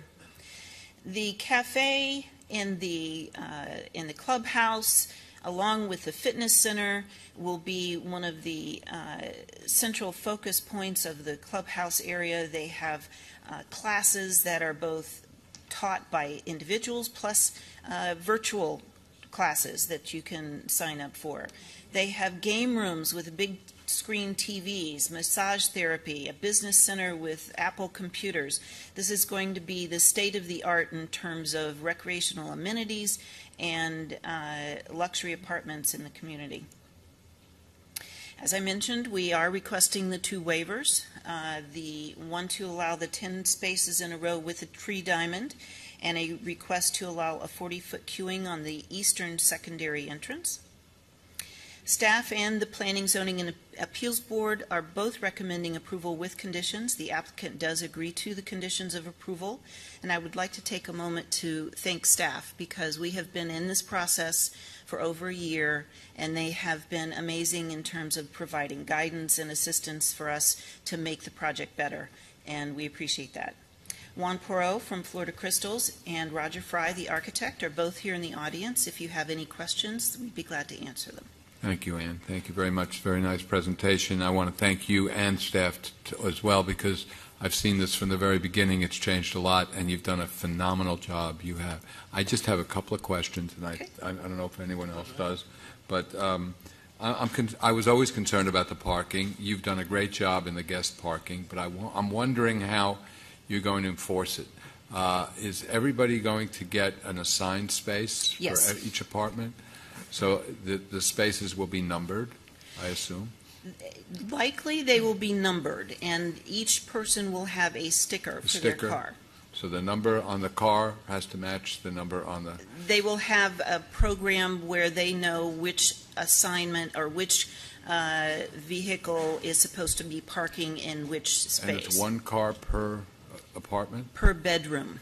Per One car per bedroom. bedroom. Okay, so then if you have a two-bedroom or three-bedroom house, you get three parking spaces, or two parking, or one parking, right? The only units that have three bedrooms are the townhomes, and they all have four, They have their own four garage. spaces. They have their own garages and their own garage. spaces. Okay. Uh, And the other, only other question I have uh, is about the guests. Mm-hmm. It- Because these are not manned gates, correct? Correct. How will you know that a guest is a guest without, how are they going to get a pass or whatever that? They so- go to the clubhouse, and there They will got to be go to clubhouse? Yes, they will go to the clubhouse and they will get a, a pass that they will put in their car. There will be assigned guest spaces that will be centrally located or near the cabana or the clubhouse and by the pool area. So that if you're a guest, you, you, you park in a guest space and uh, they'll, they'll know that they have to go to the clubhouse to get the pa- Their, pass? their person that they are visiting will have to tell Have them. to tell them that? they Otherwise, have the get a car get- is subject to Towing. towing? Okay. Yes. Okay, good. Any other questions? Yeah, I want to, well, we're talking about the parking before we get off of that. How many one-bedrooms are you going to have? Ballpark. Because I guess my point is, if you have a one-bedroom, you can only rent it to one person, so, you- so what happens to the couples, the young married people, the two people? Well, the one bedroom would get one space. Yeah, but that's what I'm saying. Who has one car? If there's a husband and a wife, they both have cars. That's why I'm interested in how many one bedrooms you have. I'm very much concerned, like Eric is, about the parking. 125. Well, that's a problem because if you have 125 uh, single parking spaces, you're going to have far more than 125 cars. You're probably going to have 180. Because as far as I know, all couples have two cars. Now maybe with Uber, Uber and all that other kind of stuff that that's going to change. But but as I understand it, and, and where are they going to park? There may also be the two bedroom units that only have one car. But they've got two assigned spaces, and it's going to be if you park in this space, you're going to be towed. If there are additional spaces that are available, they can be rented at an additional cost. If there are uh, additional, um, I'm not sure how to answer this. What's the number of required parking versus what's provided on site? The required parking is uh, 500 and, I know, I, I just don't remember it off the top of my head.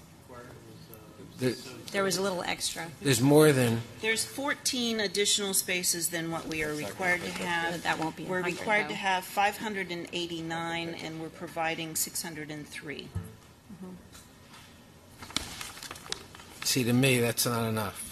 Well, if I may as well, there's also the additional parking that's on the north side of the primary and secondary street. And if you, can you bring up the Correct. exhibit There's- to show the, There's There- also additional parking that has been provided as part of the project that technically per code, we do not count because it's not part of the site.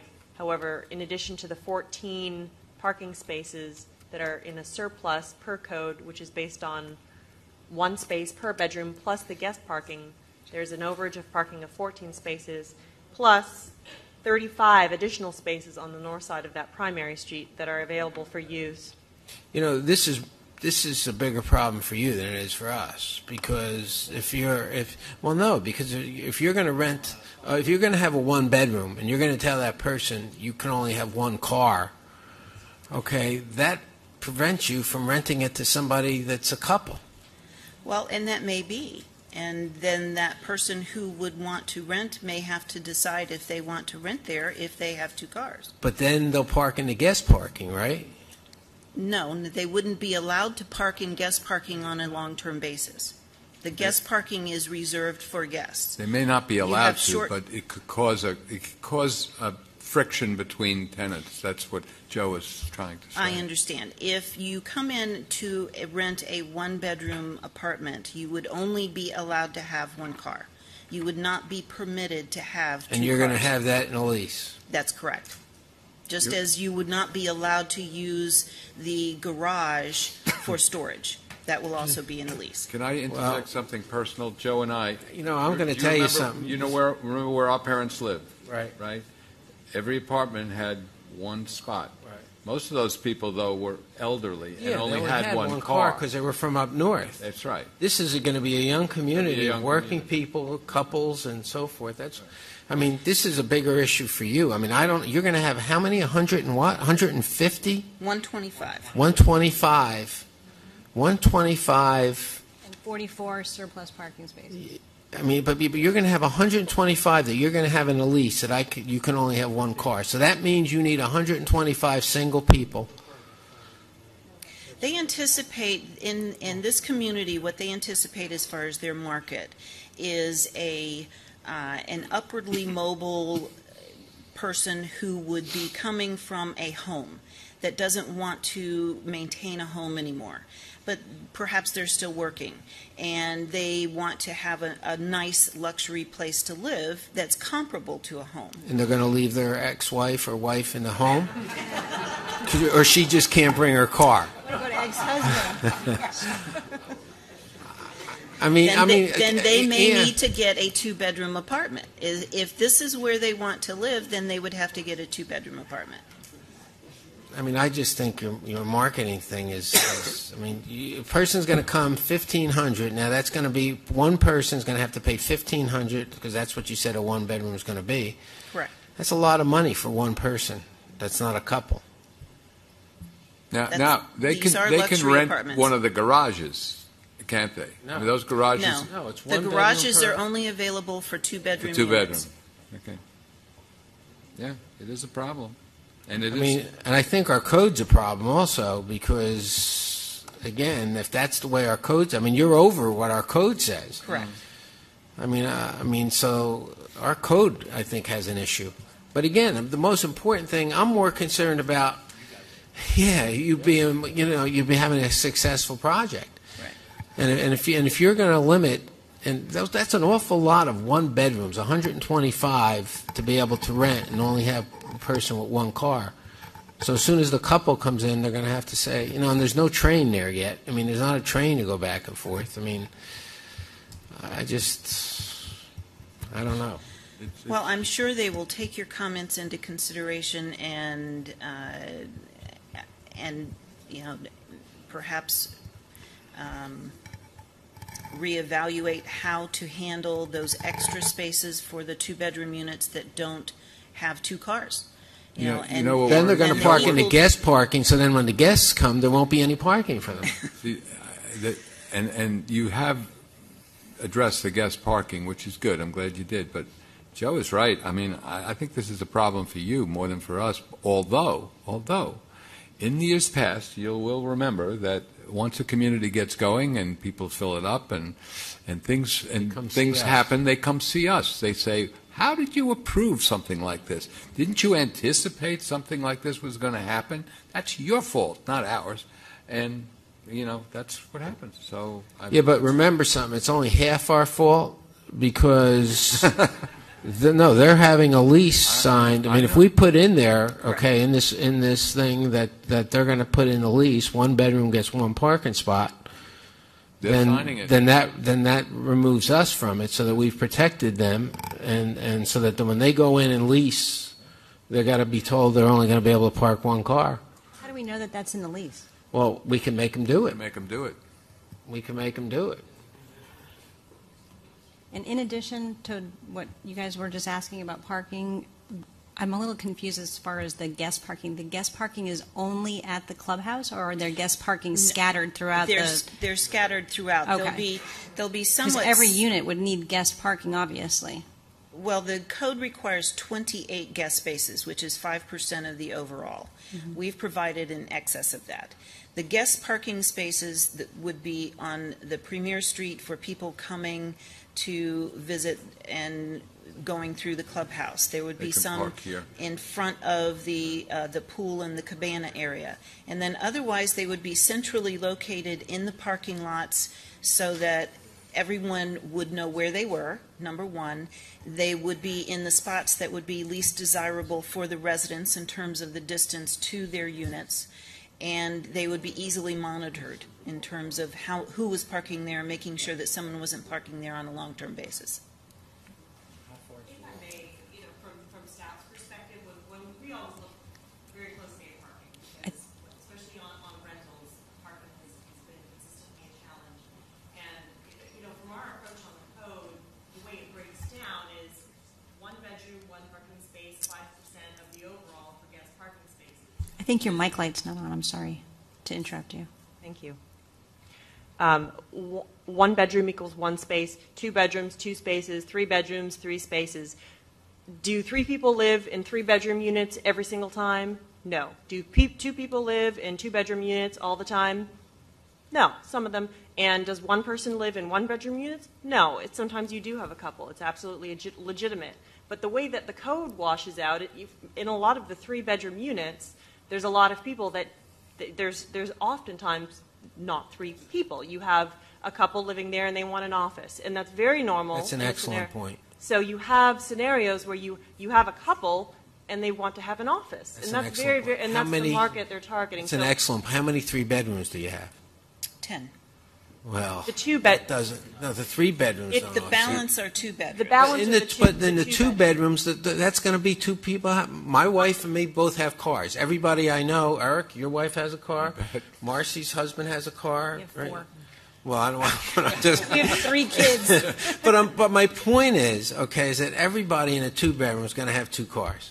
Yes, but sometimes, as, especially young couples, a lot of the time they will want a second room for a studio or an office, that, and especially in the market that they're targeting. So I think it is a valid point, but parking in our code, unfortunately, it, it's kind of like traffic science. You, you, know, you never nail down the exact numbers on the assumptions. There, there is a certain assumption that the numbers do wash out. We, I- we have I- reviewed it, and it does guess- meet code. I think you're right, but uh, what we're trying to impart. The problem here is that flexibility, mana- though. yeah, mana- uh, parking management is going to be a problem uh, in, in this complex, and, and everyone like this, obviously. I mean, if you have two or three Super Bowl parties or more, I brought it up this morning.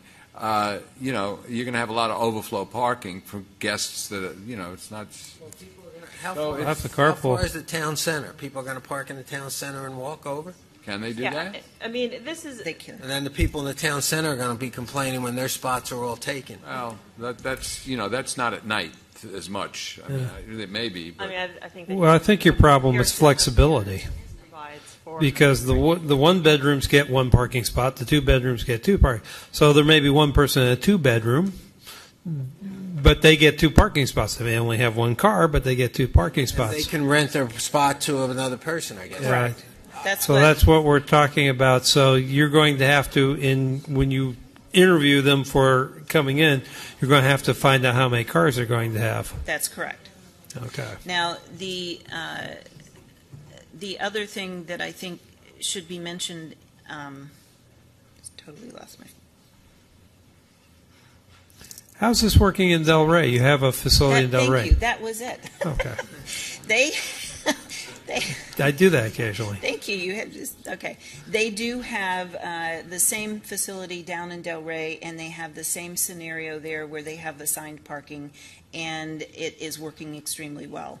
They have parking management teams that on the in the clubhouse that they monitor uh, what's going on in the guest parking usage and issuance of those passes. So uh, I think they're prepared for having to deal with this issue. Well, that's why I said, you're going to, parking management's going to be a problem. Bert, you have? No, no, no, I'll wait for the next one. Yeah, okay. Uh, You have Marcy? Marcy? Well, I have questions, but I can wait until after staff does a presentation as well. Are you going to be doing this presentation? Uh, would you like for staff to do a presentation? Doesn't matter to me. Well, You know, these are two, I think this these are one two was- resolutions that we're taking together. Now, I, I- the, the, the the clerk has read 44. I'm, maybe I should have her read 45 and open these public hearings concurrently, so No, that... no, you could just put everything from this public hearing into the The next one. next, You can do all of that. the That's comments easy are to going to be incorporated, so... And, and I'm sure Natalie, they said they're, they're in favor. I mean, my only question to Natalie would be, is that, is there anything that you would like to contribute to this? Because we don't want to see the, hear the same presentation Exactly. Just for over the with. sake of time and duplication, mu- much of the in- information that Ms. Booth presented is duplicative. Uh, The only, the only other uh, point that staff was going to make that from an overall traffic perspective, uh, there is no net increase with this proposed project. Uh, This project is vested from a traffic concurrency standpoint, and they provided a traffic, a traffic analysis to, to demonstrate such. Uh, And uh, I, I also wanted to just uh, thank the applicant for uh, their um, listening uh, and cooperation through this process. We've worked very well together in this process, and I think that the project that you see before you uh, is a result of a lot of this collaboration. So I did want to thank the applicant for their consideration of uh, staff's input early on in the process and throughout. Thank you. It's a beautiful project. It really is a beautiful project. Marcy, you want to, you want to... uh, How many ask your questions do you have? questions? Because I just have one. How many do you have? No, go ahead. Oh, I just want to ask about the trees. I don't know why, but Wow. the the oak trees. I mean, haven't we had issues with those trees and other communities lifting up sidewalks and roads, and and now we have oaks along the whole perimeter around sidewalks. I mean, so what? What's not in ten years from now? What are we not going to be addressing that they're going to be coming up and bringing things out of the ground? Well, I can guarantee you that there are no uh, water lines directly underneath good. oak Okay, trees that's- on this that's one proposed development. Uh, you know, I think that uh, we have uh, we have all learned a lot, and our uh, utility authority that we work with uh, as part of our development review committee process uh, has very stringent rules on distance requirements. Uh, there's root barrier requirements that are required. And so uh, we love oak trees, uh, but we believe in their strategic placement. We've also learned that if you uh, contain oak trees in small diamonds, they don't grow to their full breadth. So, you know, really, we do like oak trees. We like to include them in pallets, but it's really all about the right location. In this particular location on the primary, they do have that room where we can. Uh, on the uh, on some other streets, you will notice a, a, a, another variety of trees that will do better. So uh, that hopefully addresses your That was actually an excellent response to that Wait, question. what about the question? I've never asked about the oak trees before, but I wanted to get a little enlightenment on it. Because was I don't want to be reading in the paper when I'm on my patio 10 years from now that there's oak tree issues in this beautiful community, like there's been other issues and they're on water lines and power lines and all kinds of stuff. So if you're confident in the containment, I'm with you. And Thank you. curbs act as natural root barriers, so that's another uh, reason that they placed the oak trees where they did in this site. Got questions? Go ahead. Um, I do. Now, mine are more site, site plan related, which is actually the next petition. Do you want me to ask my questions now, or do you want to move forward with the? Okay. Okay. Um, In this case, um, I have no issues with your waiver regarding the tree diamonds. Landscape is beautiful, the architecture is beautiful. I understand, you know, what you were doing, and I think you did a great job in that respect. My one concern is, or my, I have two concerns. One concern, which I spoke to you about, is in regard, I spoke to staff about it as well, which is in regards to the um, lack of stacking for the one waiver, the 40 feet. My um, concern in that respect is uh, the gates. I understand they're smart. It's a smart system, which is wonderful. However, having dealt with gates in uh, numerous occasions, numerous, numerous different places, my concern is lightning strikes, um, power outages, uh, when somebody hits them with a car. I would like to see, um, which is actually pretty common, and, and actually uh, Todd had uh, provided a, an uh, idea, which I thought was an excellent one, and I did a little bit of research on Google, and I found that a lot of places use this, but a battery-operated um, fail-safe, you know, obviously with the fail-safe and the, up, the gate in the upright position, and I'd like to know if that's something that you're willing to provide here. Uh, yes, they've investigated uh, how that would work, and they have a number of ways that they can make that work. But for the one secondary access point that would be fail-safe open in the up in the upright position, Mhm. all of the others would typically uh, be manually operated, just lifted into the upright position if there's a power failure. So they would all be open in the upright position in the event of a Okay, failure. so in this case, you would be willing to provide that one where For it the is- is secondary adjacent street. to the secondary Yes. street? Okay, and I appreciate that. I think that that would be a, a benefit because it could create a dangerous situation. Um, the other question was in regards to the gates, and I know your pedestrian, you had a detail regarding um, pedestrian gates. Is that just for where it's adjacent to the buildings themselves, or is that around the gates around the perimeter of the um, property? I'm sorry, could you clarify your question? The pedestrian gates as far as the detail? Uh, the, the pedestrian gates, the detail's fine, but Okay. in the detail, I wasn't sure where those gates are located. Are they located around the perimeter where They're- the sidewalk is, in- you know, where you can access the community along the perimeter? Or is that the a- gates just where the sidewalks go into the building themsel- themselves? It's both. There are pedestrian gates that are on the access points into the individual units off of the Premier Street and the Primary Street. There are also pedestrian gates that are on the sidewalk connections that go from all of the external streets into the community. The pathways that go around the community, around the lake, and then the connection points off of those pathways do not have those pedestrian gates. So those access points are open. It's Mhm. only the access and the entrances on the sidewalks that are on the primary, secondary, and premier streets. And are they locked? They are locked. Okay. And they are the same uh, locking mechanism that you, the, it will be a fob or some kind of device that you would use to get into the building. So it's like your key. If you lose your key, you can go to the clubhouse, and the clubhouse attendant there will assist you to get into your unit until your parent comes home. Okay, and the reason I said that is because I was curious where the children, because there will be children in this neighborhood, where they're going to be dropped off. Where is the school going to be, or the bus going to be dropping the schools off, and how are they going to get into the community if there's locked gates? They can get in a number of ways other than going, sorry, through the, the perimeter. They can go around the outside, come in uh, between the buildings. Uh, They can go through the clubhouse. They can get assistance at the clubhouse. Uh, And, you know, it- it's, you know, they can wait on their stoop. And do you have, do you know where the school bus drop-off location will be? I be? do not. I don't know if maybe the master developer has gotten that far. I don't know that they know yet. Okay. Okay, just curious, because it's something that I know that would be safer if they were dropped off. Obviously, they're permitted, the school board allows them to be dropped off in a, in a parking lot. We know that, and in a community too, so to provide a safe place for them to be dropped off would be great. And that's it, those were my questions.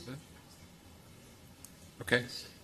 Um, This is a public hearing, and I have opened it, so anyone wishing to speak on this item, I do have two cards, three cards, actually. I'm not sure, Mr. Oso, Mr. Ray Oso, you wanted to speak on, I want to speak on the three, the B, C. well, you know what, I'm going to take you uh, on on 46 then, okay?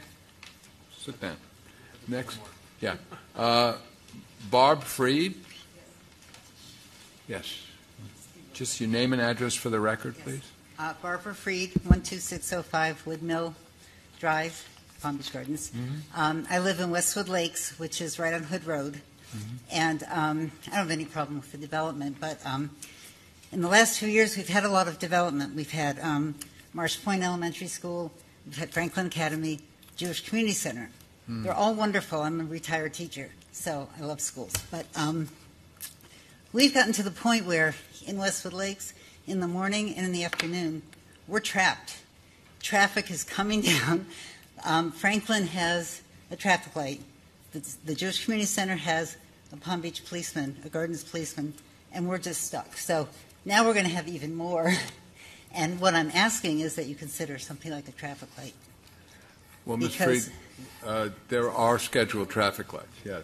Uh, They will be, in- when when- when they're they're installed, things are going to get a lot better. Plus, the road is going to be widened, as well as the bridge. Right. So- But is our, when we come out, I don't know if you're familiar with Westwood Lakes, it's right across the street. Yeah. Is that road going to continue across the road into this project? There is With, uh, going to be, there, there is going to be, well, There'll be a remember, this traffic is light. all the way, this particular project is all the way by Donald Ross Road. Okay, but now, it's gonna- yeah, but there will be a road that'll, that will connect, and eventually, when that road connects, there will be a light There'll be a light. at, We at that really need a street. light. It's gotten know. bad. I sit there for a long time, just with that left turn signal on, just waiting. And traffic, keep- it stops at one place and then starts at another place, and they never I stop for understand. us. Uh, I- I'd like to also confirm, you know, the developer uh, is required when they uh, provide for the access drive on the eastern side of the Alton site to provide a signal. So I'd be happy to, uh, to get with you um, and show you the plans for that. In addition, the county is moving forward with the Hood Road widening project, which Right. includes a number of improvements, so. We um, just see right at that Staff entrance is to happy Westwood to, Lakes. um, to Yeah. work with this resident uh, to go over that and show the proposed signal, but just um, the par- the parcel G, is- is- as it's referred to, has not come before you all for approval, but the preliminary plans uh, do have a signal proposed at that intersection. Right Do we have at any Westwood ballpark Lakes. as to when the road's going to be widened?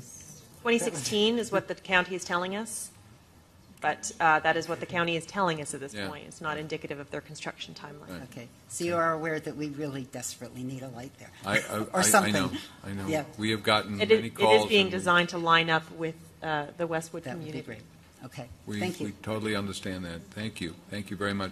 Sophia Jens? Jens? Johns. Juns, okay, I'm sorry. Yes, I live Just at your na- Name and 12589. address, yes. Go ahead. 12589 Woodmill Drive. I- Barbara and I are neighbors. Okay. And she covered basically what I wanted to cover, but Mm. I was concerned mostly is when the widening of Hood Road west of Central is going to happen because the traffic is very bad now. If we didn't have that police officer at the, Right. at the At the Jewish school. Community Center, sometimes we can't get out for 10, 15 minutes. Totally understand, yeah. I know. And it's dangerous, too. I know. Yeah, and it's, the traffic there is, is terrible. And it seems to me that you have gotten the cart before the horse. You've done the development without widening the road. And as far as I'm concerned, the road widening should have come first. I wish it had. Yeah, Uh, because Truly, it's- I do. it's really bad. It's the county I've that lived here for does 25 not years, us. and Yeah. See, It's as bad as so let me just it. explain this to you, okay? It seems like you, you came here to us and you feel like we're the bad guy, but understand this. No, no, no, let me- I'm going to just explain this to you. The county gives traffic concurrency. So in this county, you can't build unless the county says it's okay and there's enough traffic. The county is also the one that builds these roads. And unfortunately, you're talking, you're right. They put the cart before the horse. They gave the permission to build, because once a developer comes to us and has traffic concurrency, we can't deny them based on traffic. Mm. So it's like, you know, I understand your frustration, and we have frustration too. So now hopefully it'll be widened, you know, and I know Marcy's been working on that, trying to get that done quicker, so I would I- appreciate anything. we're on the same page. And Agree the with way, you. I'm getting my mammogram on Monday. All right. Good for you.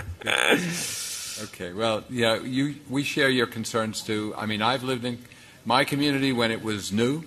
Uh, the roads didn't, weren't adequate to service it. There were no lights around it, and we had our growing pains as well. But uh, you have yours, and, and we're sorry for that. But unfortunately, that's the way the that's the way the go- government works, and Can it's promise not, you- it's not our government. so. I can promise you, I live in that area as well, and I've literally been bugging the county engineer to hurry up with the road construction. I've been pre- pressuring as much as I can, trying to be as professional and as nice as possible, but I do ask them routinely, and we talked about that two weeks ago. They're, unfortunately, you're right, they're, the cart is way before the horse, but they are planning to widen it, and um, unfortunately, it'll be next year when they do that.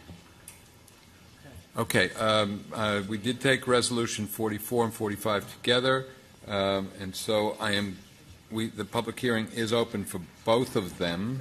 No, only one, but I'm, I'm going to be taking comments for both of them. N- Yes, yes. You only opened it for one, though. Well, okay. I'll do it. I'll do it again. I'll do it again. Okay, uh, anyone wishing to speak on Resolution 44, 2015? Seeing none, I'm close the public hearing and bring it up for a vote. Move Resolution 44, 2015. Second. Moved and seconded, all in favor? Aye. Passes 5-0. Okay, now, uh, Resolution 45, 2015. Clerk will read the title, please. Resolution 45, 2015, a resolution of the City Council of the City of Palm Beach Gardens, Florida, approving the Atlantico Apartment Complex site plan in order to allow the construction of 353 multifamily apartment dwelling units within Parcel C of the Alton Development of Regional Impact DRI Plan Community Development PCD. The subject site comprises approximately 13 acres within the 133.68 acre Parcel C within the 681 acre PCD and is located south of Donald Ross Road, north of Grandiflora Road, east of Alton Road, and west of the PCD's east boundary, as more particularly described herein, providing conditions of approval, providing waivers, providing an effective date and for other purposes. Thank you.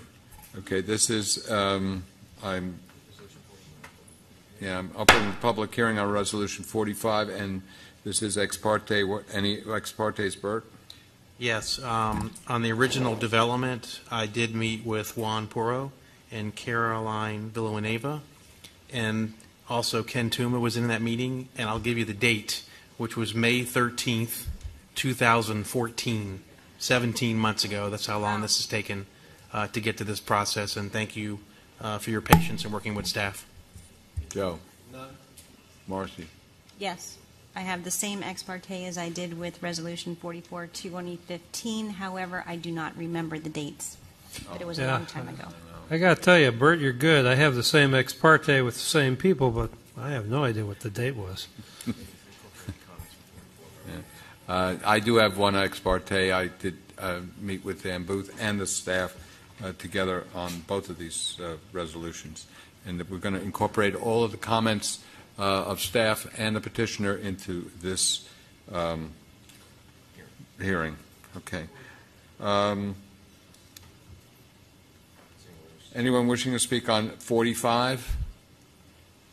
Seeing none, closing the public, public hearing, and I'll bring it up for vote.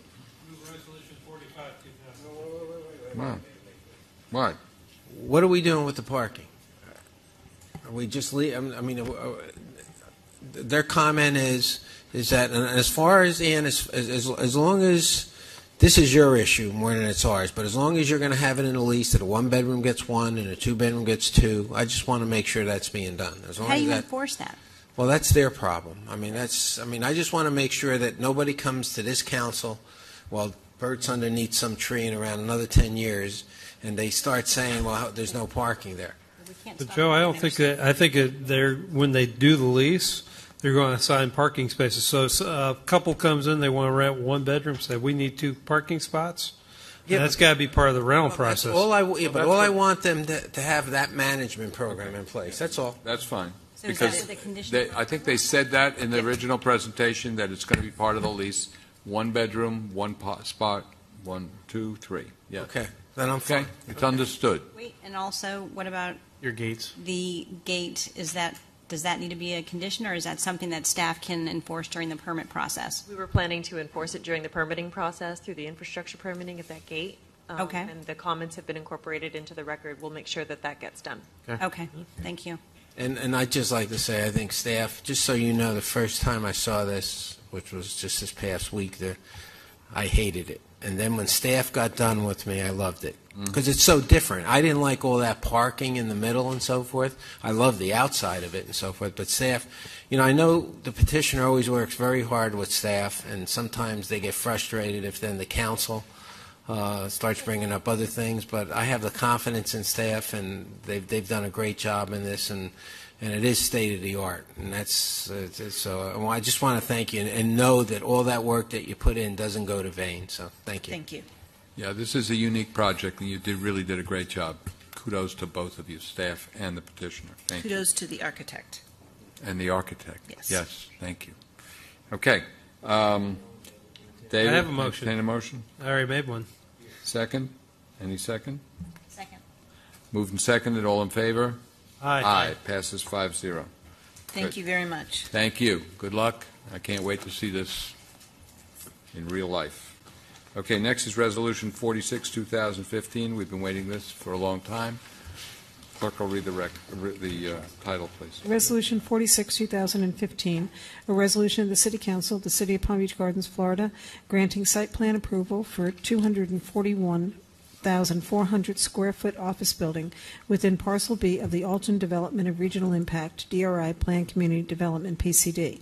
The subject site is approximately 29.90 acres within the 99.91 acre Parcel B within the 681 acre PCD and is more particularly located at the southeast corner of Donald Ross Road and the in- and Interstate 95 intersection, as more particularly described herein, providing conditions of approval, providing waivers, providing an effective date for other purposes.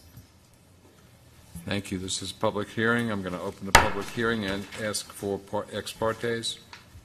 Um, I don't know if this is an ex parte or not. Please, I No, I don't have the date, but uh, I did speak in favor of this at a county commission me- meeting uh, at the behest of the council, and then after that county commission meeting, I did speak with several representatives from United Technology Corporation about this project. Yes, uh, Don Hearing, I'm- I actually spoke with him today. Joe? At least you got the date right. um, I don't even know that this is, but I, I did have conversations with, I, I met with um, John Csapo and former Commissioner Marcus going back to the original before this even got this far. Not this particular building petition, but them going on the site. I did have discussions with them, and I may even had a discussion with Don Hearing at the point. But I had no discussions on this actual building site plan that we're going to look at here tonight. Same comments as Joe. Well, if that's the case, I have to amend mine because I did um, lobby for the actual use on this site with our commissioner and uh, our past commissioner, Marcus. Okay. Well, I've lobbied with everybody, and I don't have all their names. I have to tell, tell you. I've spoken to John Csapo. I've spoken to the petitioner who was here tonight representing UTC. I've spoken to um, Don Hearing, and I've spoken to Commissioner Marcus, and I've spoken to uh, other commissioners as well, all of them on, on the county commission, the exception of Paulette Burdick. So I hope I've covered everybody, um, and that's, that's, that's all I have. Don, it's up to you.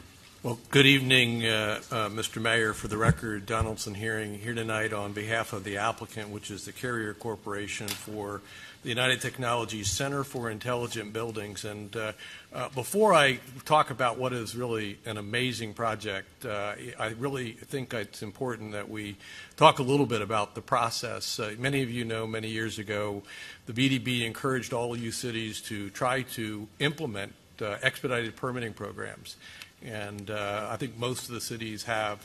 But the process that you've had here for, for this project really is a model.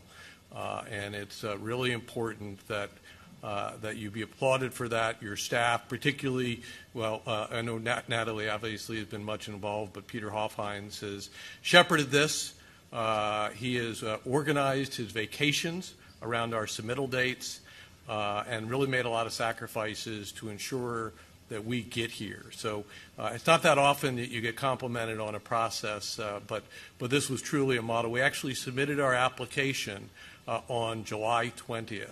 Uh, and uh, we're here before you tonight on October 8th, and our plat we hope will be before you uh, next month. So uh, our hat is off to you, uh, and uh, certainly uh, I'm sure the applicant is equally uh, appreciative. But uh, as a uh, uh, as a person that processes these petitions uh, throughout the you know uh, Palm Beach County and, and the state, Uh, I've never seen a process work as effectively as this, and it's because of the commitment that's been given to it by your staff. So want to thank you, and please make sure that you, uh, you uh, acknowledge your staff at the appropriate time.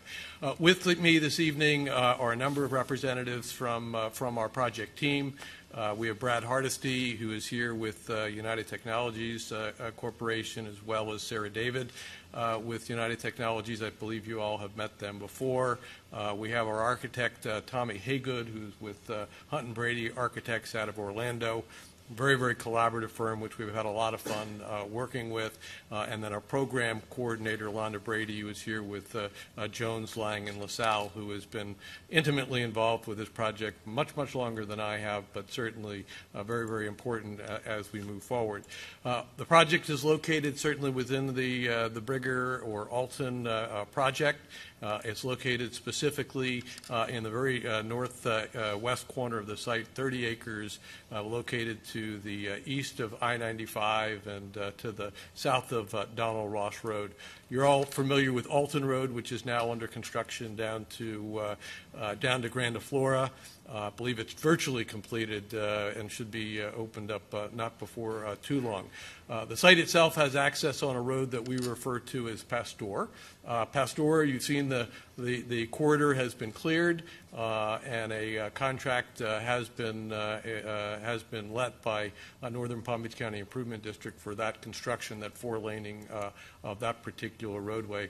Uh, This plan uh, uh, view gives you kind of a little bit of context with uh, those projects that are either in the pipeline or, or moving through the process. And the 30-acre uh, site uh, uh, that's uh, in front of you tonight is uh, highlighted uh, in green. You're familiar with the overall DRI, so I won't get into the details, uh, but this is the first non-residential development uh, that we've seen uh, and certainly have hoped for as part of the dream, part of the expectation uh, when the project came forward. And this is uh, a part of the 4 million square feet uh, plus or minus of the non-residential that's being proposed. Specifically, the applicant is requesting uh, approval uh, for, uh, for this project. It's 30 acres located within parcel B. So parcel A and parcel B are the non-residential parcels uh, located right there at the intersection of 95. The application is for a 241,400 square feet Center for Intelligent Buildings. Uh, The site plan also reflects uh, a future development area which would provide for up to 700,000 square feet, which is allocated by way of the contract uh, to, uh, to this partic- particular uh, parcel. Uh, So uh, what is the project? Well, the UTC Center for Intelligent Buildings will be a state-of-the-art, uh, technologically integrated building to be truly an international showcase of United Technologies building products. And so we expect this to, building to be visited by uh, all nations of the world as well as uh, uh, throughout the uh, uh, continental United States. Uh, The center will demonstrate new technologies for building automation, security, ventilation, heating, cooling, elevators, escalators, and refrigeration systems, and they'll all be showcased as a part of the building. Uh, And one important thing that often doesn't get talked about when we talk about uh, projects is uh, the concept of sustainability. And of course, the master developer has built many, many sustainability uh, principles into the overall master plan, but the, uh, this particular project, uh, the goal uh, for the Center for Intelligent Buildings is, uh, is LEED Platinum, and you, that's a very, very lofty goal to achieve, uh, and, but it's something that the team has been working on tirelessly. It's an integral part of every single design decision that has been made. The site, uh, I've gone over the site data, but the uh, ultimately 700,000 square feet on the 30-acre site. Uh, The building will be five stories. Uh, It will be 85 feet in height. Uh, We had originally proposed around 100, 100 feet, but we've actually reduced that, and that's certainly in keeping and consistent with the tiering uh, that you've approved by way of the design guidelines. Uh, We have uh, ample parking on site, 617 spaces. Uh, 602 of those uh, are located within a parking structure. Often you see parking spread across the land, uh, a lot of asphalt, a lot of heat gain, but in this case, to put into a, a parking structure. And we also have five bus parking bays. So we do anticipate uh, uh, bringing people in that might be here visiting, either locally or internationally, um, being able to bring them to uh, the Center for Intelligent Buildings to uh, uh, be able to observe the technology that's in this building, because it's going to be something that I think everybody is going to want to, to see. We also have bicycle parking as a part of our plan. That's part of our LEED uh, commitment that we have on the site. So some of the amenities that I'll just point out to you. There'll be several floors, predominantly the first two floors, that will be dedicated to customer experience and showcasing uh, the uh, UTC uh, building products. Uh, there'll be a full service kitchen. Uh, many of you are, are, familiar with other corporate headquarters like Florida Power and Light, which uh, has a full kitchen that provides as a great amenity to the employees uh, as well as this kitchen will be able to utilize to uh, serve uh, the needs of any operation if people were visiting uh, there with a cafeteria. There's outdoor dining area that's uh, so so uh, employees and visitors will be able to enjoy the fresh air. a fitness center. a conference center, and we have a little area outside for an event lawn and other activities to take place, which I'll, I'll show you. Uh, the site plan uh, is, uh, is in front of you, and I'll walk you uh, through that uh, uh, briefly.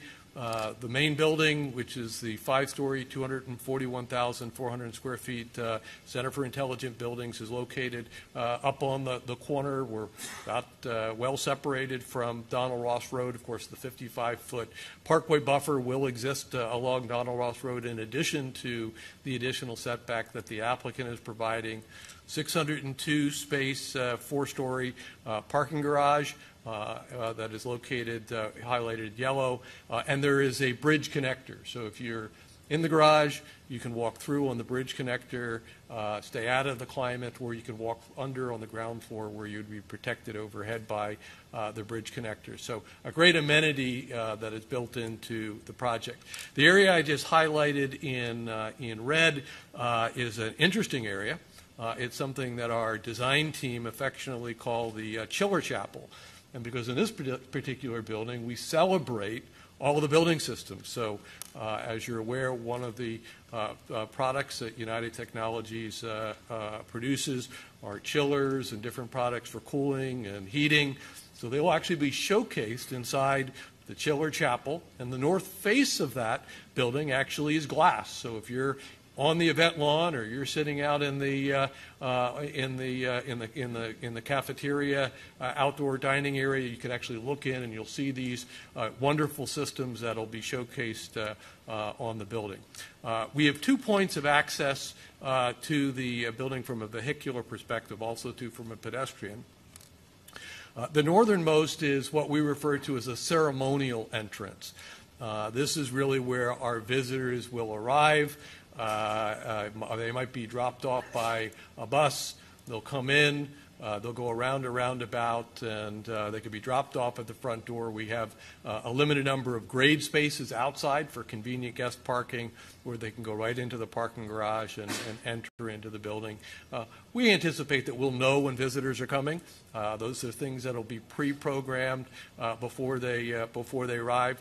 Uh, but that's our visitors' uh, entrance. Buses would come in here and likely would go back out the entrance into the employee area, where we also have the best bus parking. So the southernmost entrance is really where we'll have the majority of the traffic coming into to the Center for Intelligent Buildings. That does align with Parcel A to the east. Uh, in the long term, this will uh, may end up being signalized, but uh, in the short term, that is not required. Uh, and so you'll have entrance will come in, and somebody can come in, go into uh, the parking garage, and walk uh, very conveniently into uh, the building with, uh, without uh, going out into the elements if it's raining here in our South Florida, South Florida environment. Uh, we do have a service area. The service area in the back of the building is secure. Uh, it will be uh, it will be gated. We will be utilizing virtual security systems, which is also products that are are, are developed by United Technologies. Uh, that would be uh, would be utilized, so be secured, and a visitor would come to their call a call box and be let in uh, if it was uh, they're dropping something something off. This is the site plan put into a little bit of context. Uh, it's important, kind of in keeping with our commitment to sustainability. uh, we are actually preserving uh, a lot of native vegetation, keeping the vegetation. It, it's not considered preserve, uh, but we are uh, retaining uh, native vegetation well above and beyond what is required by uh, the DRI uh, along Donald Ross Road. That is really where we have some nice stands of vegetation. It will really create a nice complement to the building uh, from the road, be part of the composition as the building is viewed from Donald Ross Road. Also, in our future development areas, uh, we will be re- retaining uh, the, uh, the native vegetation uh, that is of quality. We have a lot of exotics and other things that will need to be removed, but the quality vegetation will, will remain in place until the future development occurs. So uh, certainly very, very sensitive to the way that the campus uh, will, will appear to the general public. Uh, these are the building elevations. Uh, this is the on the bottom is the east elevation. That's the main entrance, and I have some 3D perspectives uh, that will that will show you. Uh, the building is uh, certainly uh, very forward-leaning. We think it's going to be a great addition to the Donald Ross Road corridor, which is really becoming an extremely exciting corridor with what we have there with Max Planck and with Scripps. Truly a technological uh, cor- uh, corridor there with the things that FAU is doing and Dr. Kelly across the street. Couldn't really be a more exciting time uh, for all of our residents here in, in northern Palm Beach County. So building is uh, very, very nice, will complement uh, the corridor. On the bottom is the south elevation and just the, the bridge connector is right here at this location, uh, and on the top is the uh, is the uh, north elevation. Uh, in keeping with the with the LEED directions, we do have certain features for sun screening and uh, and uh, various uh, cantilevered elements that are part of the shade screening for the building and our LEED components. This is the parking garage. Of course, it is well screened and well landscaped uh, and well uh, preserved by a lot of the native vegetation. This is a, a, a three stories above grade. We call that a four-story uh, garage. Very, very nicely done. And then just uh, for your information, this is that area that we refer to as the chiller chapel with all the glass uh, on the uh, on the ground floor, so that you could actually look into those areas and see the uh, celebration of the mechanical equipment of the building. And certainly inside the main building, you'll have a lot of those same uh, same features.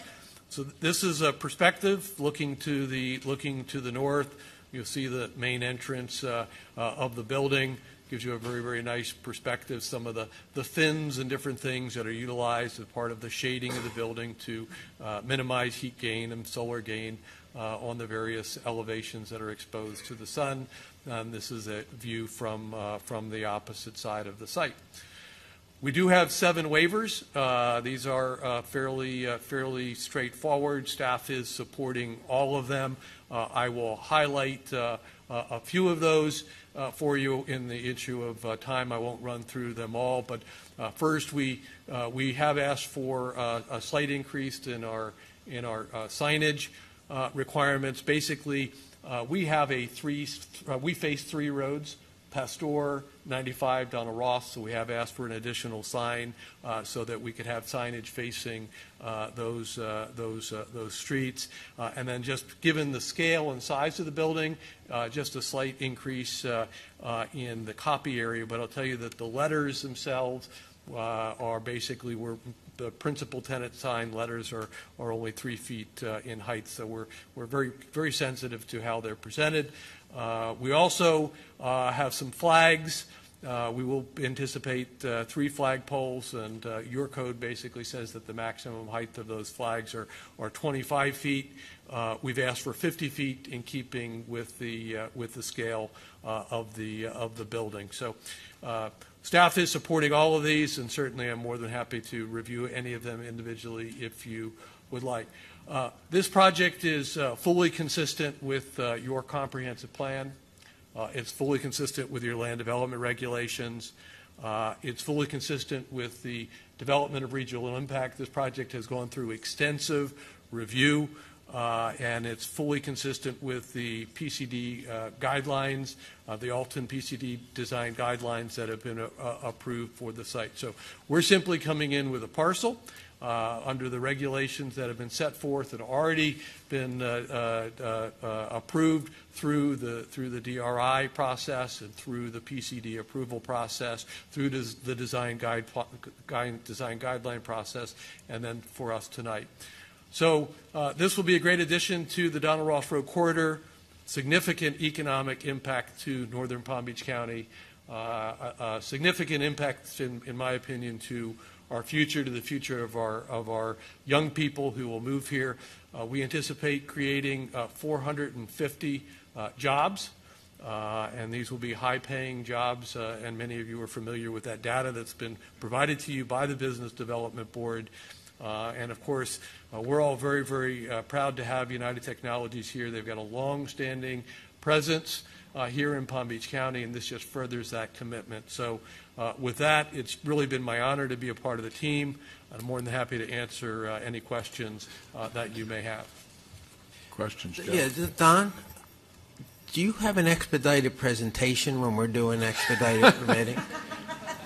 Because for the size of this project, everything else you've ever done, this is probably the smallest presentation you ever did. It's because By he didn't say, "I'll be brief." I mean, that is, uh, I, I want just like you thanked us, I want to thank you for the presentation. Great job. Thank you Great, very great much. job. I have a couple of questions. Um, well, kind of uh, curious, and I don't know if you'll have answers to this, and it doesn't matter if you don't. But how many platinum LEED buildings are there in Palm Beach County, and how many are? Do you know how many are in the state? I mean, platinum is pretty high level. I know we've got a couple of silvers in the city. You know, but I don't think we have anything that's near. I don't Yeah, think we have any the- golds. There, there's some golds. There's some golds, yeah, okay. there- there- there's some golds. Uh, I'm, I'm pretty certain that the Ecoplex down in down in Lake Worth is uh, uh, is at least gold. It may be it may be platinum, and it may have been one of the first platinum buildings. But I'm certainly nothing of this magnitude of scale uh, has ever been done, and and we're also going under the new LEED requirements. So we're, we're taking this to a next level. So this is under the, the, the new standards that LEED is published, and so everything else has been under older standards. The new standards are much more rigorous to uh, comply with, and, and we've they're not. You don't have to comply with those today. This is something that corporately that uh, the applicant has chosen to do. So this is kind of platinum plus. Platinum Plus. There you go. Um, also, I wanted to know, I, you're going to be removing a fair amount of exotics, Brazilian peppers, Melaleucas. I think there's even some Australian pines on there, the big three, as I call them. I mean, a fair amount of them. Acacia and and lots more. Yeah. The other thing I was curious about too is, you know, as you go by that site, you see a lot of slash pines that look like they're in the 25 to 30 year old range. Are you going to be taking those out too because they're just about at the end of their lifetime?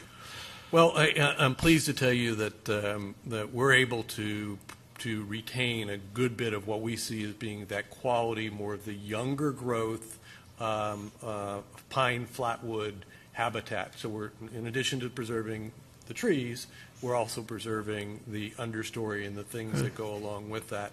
Uh, and and, and we're, we're lucky outside of the development areas that we have some of those areas that exist. Uh, but you are right, there are some older growth trees that are, are there that would be come down. They're typically in more scattered areas that also were disturbed and have other exotics in them. Yeah. So, and I assume you're going to be doing a, f- a few plantings to make up for the removals. We, we have a we have a substantial planting palette, and in the even in the areas where we're preserving vegetation, we're actually going back in, uh, and where we have to pull out exotics, our planting plans have plans to go back in and, and plug in uh, new native vegetation so that we have a very successional looking uh, ecosystem. Are there any jurisdictional wetlands on this piece of property? Uh, there are. Uh, they have all. They're all very, very low quality, and they've all been mitigated and are in the process of being uh, yeah, because I think you're in the drawdown zone of Seacoast Utilities. I don't think you can keep the properties wet. A- a- As you're aware, uh, Counselor, we do have a well site uh, that uh, is being provided uh, on the 30-acre parcel, and then, of course, they're distributed, I think they're 12 to 1,700 feet apart, so uh, it is in the middle of a drawdown zone. And, of course, immediately across the street in Abacoa, you've got the same, the same thing for uh, River District's well fields. Okay. My um, final set of questions deals with the I, the view from I-95.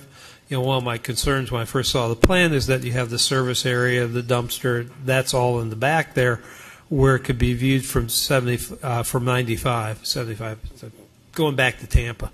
Um, I want to make sure that that what we see is the beautiful building and not the service area. And I understand from staff they said that that area is going to be screened uh, with vegetation. So I wanted to get assurances that. Ye- Yes, there there are. And in fact, I had a conversation earlier today with uh, Counselor uh, uh, Tinsley, uh, asking really the very same question. And and what we've done is we, ha- we are required to have a 25-foot PCD buffer. Uh, And uh, we've actually have a, a berm in that area. And actually, in the area of where the, uh, the uh, loading zone is, the height of that buffer, and I didn't explain this to you, Counselor, uh, that the height of that berm actually exceeds three feet because we increase it and wrap it around so that we provide additional, additional screening. And that berm is, is planted. So Northern will be constructing the 25 feet per the design that, that we've authored. Uh, and we've actually enhanced that so it had additional planting. In addition to that, uh, along the, the both the the uh, the west uh, and uh, and it would be south side because we have existing native vegetation that's being preserved on the north side. On the west and on the south side, uh, we're coming in uh, day one. In addition to the buffer, buffering the buffer, we're putting in a eight foot clusia hedge, 65 gallon, eight foot clusia, plant to plant which will create a, literally a solid green wall. Uh, and there, if uh, I believe you've been provided on the dais a, a, uh, a condition that basically says we'll allow that to be maintained at a higher height uh, so that uh, we maintain that screening there. One other element that you should note that that area has been slightly depressed. Uh, Mm. so that uh, so that that loading zone is at a little lower elevation uh, to also bring it down, and because we're as equally concerned about the presence of what will be a, an amazing building, uh, we don't want you looking at a loading zone either. So we've made those assurances. I've kind of figured out that, you know, I'm going to reserve comments until, I guess, until we discuss this. So, but I do have a few comments also. But thank you, Don. Thank you, sir. Okay. Um, Staff?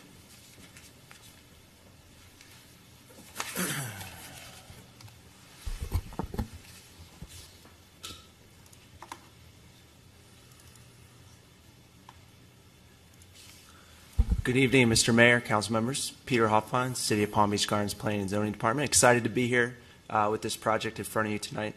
I'd like to thank the applicant for their kind words. Uh, it's a team effort all the way around, and uh, I'd like to extend thanks to them for working with our schedules and, and getting resubmittals in uh, promptly. Uh, I'll keep it brief tonight. It was a very thorough presentation by Mr. Hearing, covered just about everything uh, on the project. You're familiar with the request, the background uh, in terms of concurrency. Again, staff's monitoring the proportion share agreement. This site plan and its associated traffic are all uh, within that agreement. The site plan wa- was discussed, the architecture.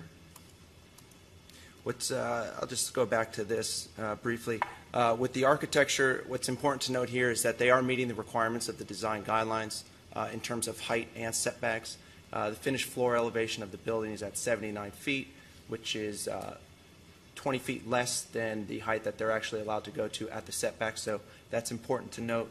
Uh, Contemporary modern design, a lot of glass, aluminum. uh, The architectural rhythm is is very pleasing. Uh, They are asking for seven waivers. Uh, A lot of the waivers that they're requesting sort of go towards their LEED Platinum requirements. Our code has certain requirements, and to achieve that LEED Platinum status, they need to request some deviations from our code. Uh, The first two are related to signage for an additional sign uh, on the west elevation uh, and in terms of size. These are standard waivers that uh, we have presented before you uh, previously for other buildings in the city, so staff is supportive of those two waivers. Uh, In terms of landscaping uh, on the top of the uh, parking garage, the applicant has requested a waiver from that. They would like to include uh, solar panel arrays on the top of the garage again to work towards their LEED Platinum certification. Uh, If they were to have the landscaping on top of the garage, this would conflict with the solar panel, so again, staff is supportive of that waiver. The next two waivers are related to parking. One is for the length of the stalls. Again, to move towards that LEED Platinum certification, they're required to encourage uh, compact car and carpooling. Uh, So they've requested 64 compact car spaces within the garage. Uh, We reviewed this uh, request pretty significantly. Uh, We ensured that the drive aisle widths in the garage were uh, at 26 feet or greater to make sure that there was adequate maneuverability for vehicles going around the garage. Um, The next waiver they're asking for is in terms of the overall parking requirement. Uh, Based on gross square footage, they would be required to have 805 parking spaces. Um, As this project is very much about the building and the uses and the features and the showcase of technology within it, the first two floors are uh, showcase areas, galleries, conference facilities, large atriums. So this isn't uh, professional office square footage. Uh, The professional office square footage in the building uh, that's actually being used for offices, about 75,000, 100,000 square feet. Uh, Based on that, they would be required around 400 parking spaces. So what they're coming forward with, tonight uh, for 618 parking, spa- 617 parking spaces, uh, well exceeds uh, what they would be required based on that actual uh, professional office use of the building. So again, staff supports that waiver. Uh, The flagpole heights, uh, our code requires 25 feet. Through the size of the building, uh, you know, they would like to go a little bit higher. Again, staff supportive of that waiver. Uh, And the last waiver, in terms of the dumpster uh, screening, our code actually requires, it's a, it's not a dumpster, it's a compactor, uh, that it actually be placed in a walled-in enclosure. Uh, Mr. Hearing went over the function of their loading and service area.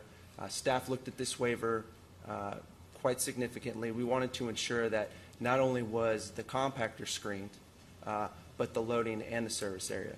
Um, So with the PCD buffer of 25 feet, the additional landscaping of the Clusia hedge that the applicant is providing, the additional condition of approval that's on the dais tonight, um, which they are uh, willing to maintain that at a, at a range height of 14 to 16 feet.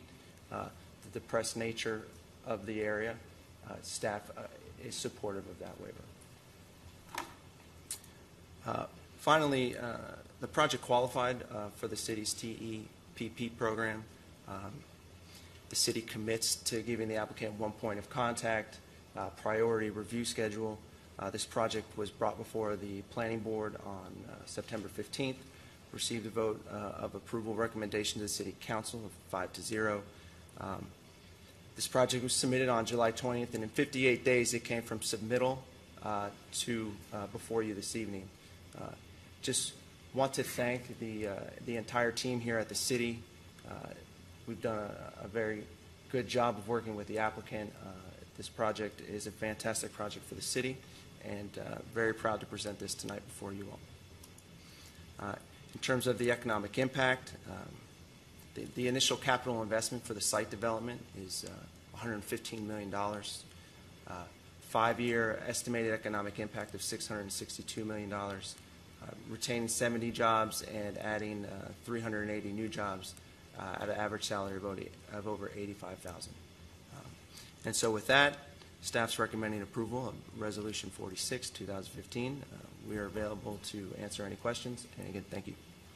And, and Mr. Mayor, if I may, just for one moment, embarrass Peter, uh, I just want to uh, really thank Peter for his uh, just tremendous amount of commitment and passion on this project. Uh, it has been a complete team effort, and as Peter pointed out, the DRC team has just been phenomenal. Uh, but it has been Peter who has coordinated the, th this effort, and uh, and he really should be recognized for his amazing work that he's done on this project. Thank you, thank you, Peter. You know, let's have everybody stand up who, who, who, um, who was involved in this project from staff. Come on, get up, get up, everybody. Let's give them a hand.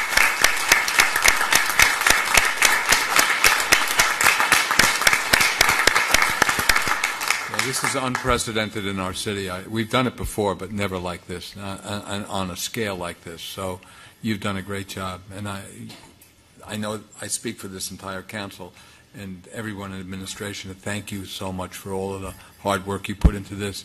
It's It's going to be worth it. Believe me, it's going to be worth it. I'm excited, really excited. Okay, um, I have a question. Bert. Um, Can you, uh, Don's uh, diagram with the building and then the streets around it, can we just, just go over just some of the traffic flow? I mean, before you go on vacation, I just want to get you for a couple questions. Uh, just- There was a map there that you had all the way up to Donald Ross Road. Yeah, I think that's it there. Can you just talk a little bit about the traffic coming off 95? You'll have the decel. Is there two turn-in lanes onto that road? One lane? What's how big? How long is the stacking? I mean, I'm sure most of the traffic I think from this project is going to come from 95. So I'm curious as to laneage and stuff like that. And Sure, uh, sure, I, I certainly can. Uh, well, certainly coming coming off of Donald Ross Road, if you were northbound, you would you basically would uh, take a right around the ramp, come in. There's a fairly lengthy, appears to be probably five six hundred foot right turn lane, which will go on and turn on to Pasteur. Pasteur will be uh, two lanes south, two lanes north, so will be built at a four-lane uh, section, although it's only really needed today at two lanes, but the developer is building, building that at four lanes. So you'll come in, ceremonial entrance, uh, very, very low traffic uh, volumes there because the employees will all be coming in the south entrance. At the south entrance, we're actually adding a right turn lane uh, uh, onto Pasteur to provide access uh, into the site uh, at, uh, at this location. Exiting, we have some internal uh, stacking, so we have the ability to have a right turn lane, potentially go straight in the future into parcel A, or make a left. Uh, And then right now, Pasteur is being built uh, for exiting with, uh, with dual left turn lanes. Okay. Ultimately, uh, it's actually designed for triple left turn lanes. Uh, Ultimately, a build-out of the, of the entire parcel.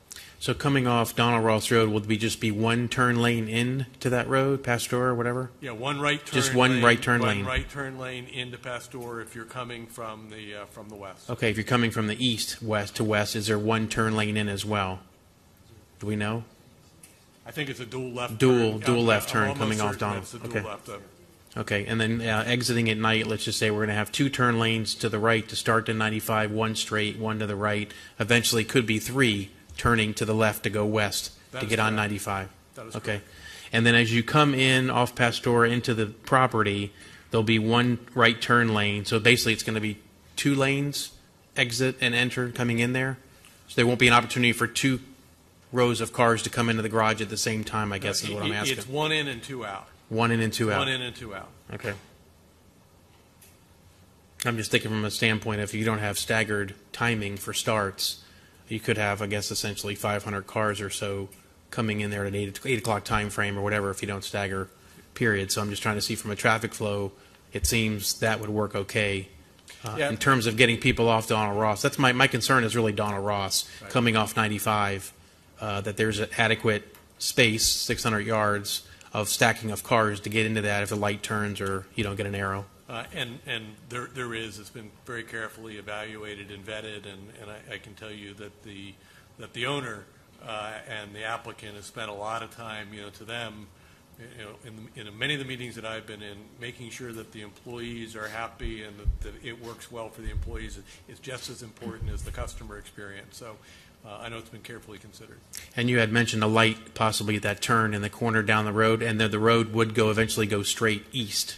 Yeah, yeah, well, that's certainly where the, where it's programmed to go east. So we anticipate that if they're, you know, if they want a left in and uh, left out, that would be the location where the median opening is planned in the, in the construction plans for Pasteur.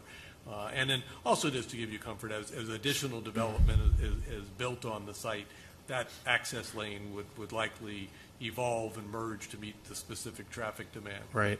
Okay. Okay, great. Thank you very much. Because eventually, this is a 700,000 square foot project. That is correct. Well, sir. the other parcels, right. As the other far- parcels indicate. Okay, any other questions? Thank you. We also have to consider going south because a lot of people will go south. There are people that are going to be taking the turnpike and using Central Boulevard as well. So that's something that we, but that road will continue all the way down to Hood Road. Uh, I, w- I would hope some are living here in Alton and are riding their bikes, so that's the Yeah, ultimate. Actually, live, that's going to work, help play, the other so- application too. They can ride the bikes from the apartments and not have to dr- have a car or park the car. That's So right. that's a plus. Very good, yes. We have 32 bike racks, and we'll put more if we need them. I assume there's going to be plug-ins too. I, uh, For your car? Yeah. Yeah, which- Yes, there will be. Any other questions? David? Sure. Any other questions? Guys? Joe, got another question? No? Everybody okay? Everybody all right? Yeah, I just, you know, I'm excited I'm going to get to vote on this. I mean, I spent so many years on economic development and trying to get something here. I mean, I, uh, this is very exciting for me. United Technologies, welcome. We've tried so hard, so many years to get companies like yours, and we've started, as you well know, but this is really the, uh, the star. I mean, and this is really great. Um, the waivers I have no problem with. The waivers fit the building. I mean, that's, you know, you have a big, tall building and you need to, you know, move, move everything around. I think you've all done a great job. And I don't need to ask questions for the sake of asking questions, so you did a great job. Thank you. Okay, I don't have any questions. I just have a few comments. Okay. I'm going to take public comment first, and then we can Yep. bring, close the public hearing, bring it back up. Okay, well, I do have one card. Um, Ray Ozo. I open the public hearing for. And I need your name and address for the record, please. And that you've been sworn in. Have you been sworn in? Yes. Okay, good. Thank you. I'm Ray Oso. I live at 701 South F Street, Lake Worth. So here we are again talking about the Briger. The Briger used to be 681 acres of vital habitat for threatened and endangered species such as the gopher tortoise, the hand fern, and the eastern indigo snake. You were a rubber stamp as Bobby Julian, the eco terrorist, came in here and bulldozed the Briger Forest. And now you want to decide whether or not you want to invite United Technologies into this community. Have you asked Acreage what they think about United Technologies and their subsidiary, Pratt Whitney? In Acreage, they spilled toxic jet fuel into the aquifer, and then surprise, surprise, cancer clusters developed in acreage. This is what you are inviting into Palm Beach Gardens. You sit here and you, you, you, you worry about not being enough parking as you turn the Briger Forest into a parking lot. Your biggest fear is oak trees tearing up the streets. You're afraid of oak trees. Well, let me tell you something. You should be afraid of nature. You should be afraid as you destroy the planet, as you destroy vital habitat, because nature bats last. Okay. Um, This is You a know what? I've been in the environmental consulting business for 26 years. I've never seen anything so inane. You know, you need to go to college or something and learn about the environment. From an environmental standpoint, this is a great thing. You- You're talking about energy savings for the entire world. You know, our biggest problem in, is is greenhouse gases. These people are going to be coming in to reduce greenhouse gases. They're going to be developing the technology. You're, you can have your three minutes if you want to come up here. You know, I teach environmental geology at the at Palm Beach State College.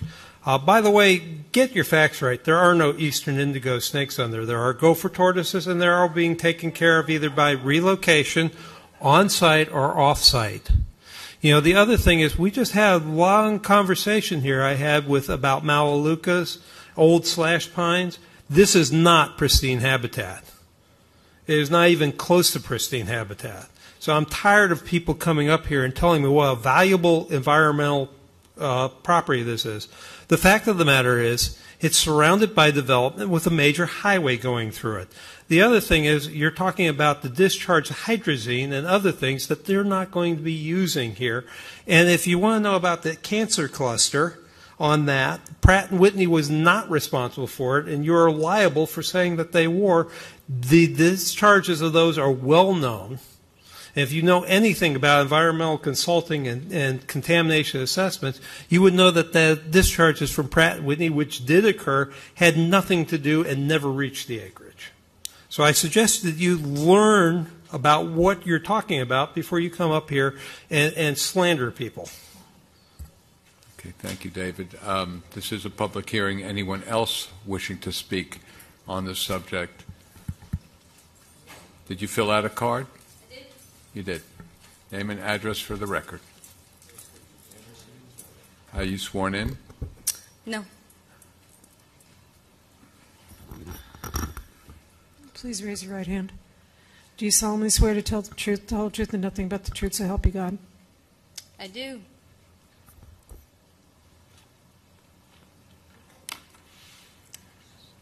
My name is Rachel Kieski. I live at 1224 16th Avenue North, Lakewood, Lake Worth, Florida. You all know I already oppose this project. But you all have incredibly strange bedfellows. I'm going to read you a list of crimes that United Technology has been convicted of. You are bringing a multiple felon into your community. So I'm going to list you some of them. You should do your research as well. In 1991, United Technologies was a target of the largest criminal fine ever levied to date for a hazardous waste violation. In response to charges brought by the EPA, the company agreed to plea, plead guilty to six felony violations and pay a fine of 3 million in connection with the illegal dumping of toxic waste at the Sikorsky aircraft operation in Stratford, Connecticut.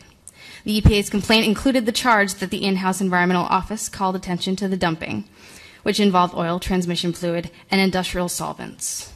I'm going to go to another one.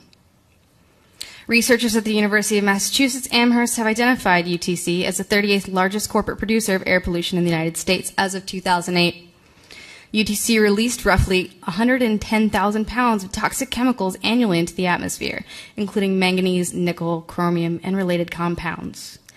In June of 2012, it was discovered that UTC sold military technology to the Chinese for pleading guilty to violation, violating the Arms Export Control Act and making false statements.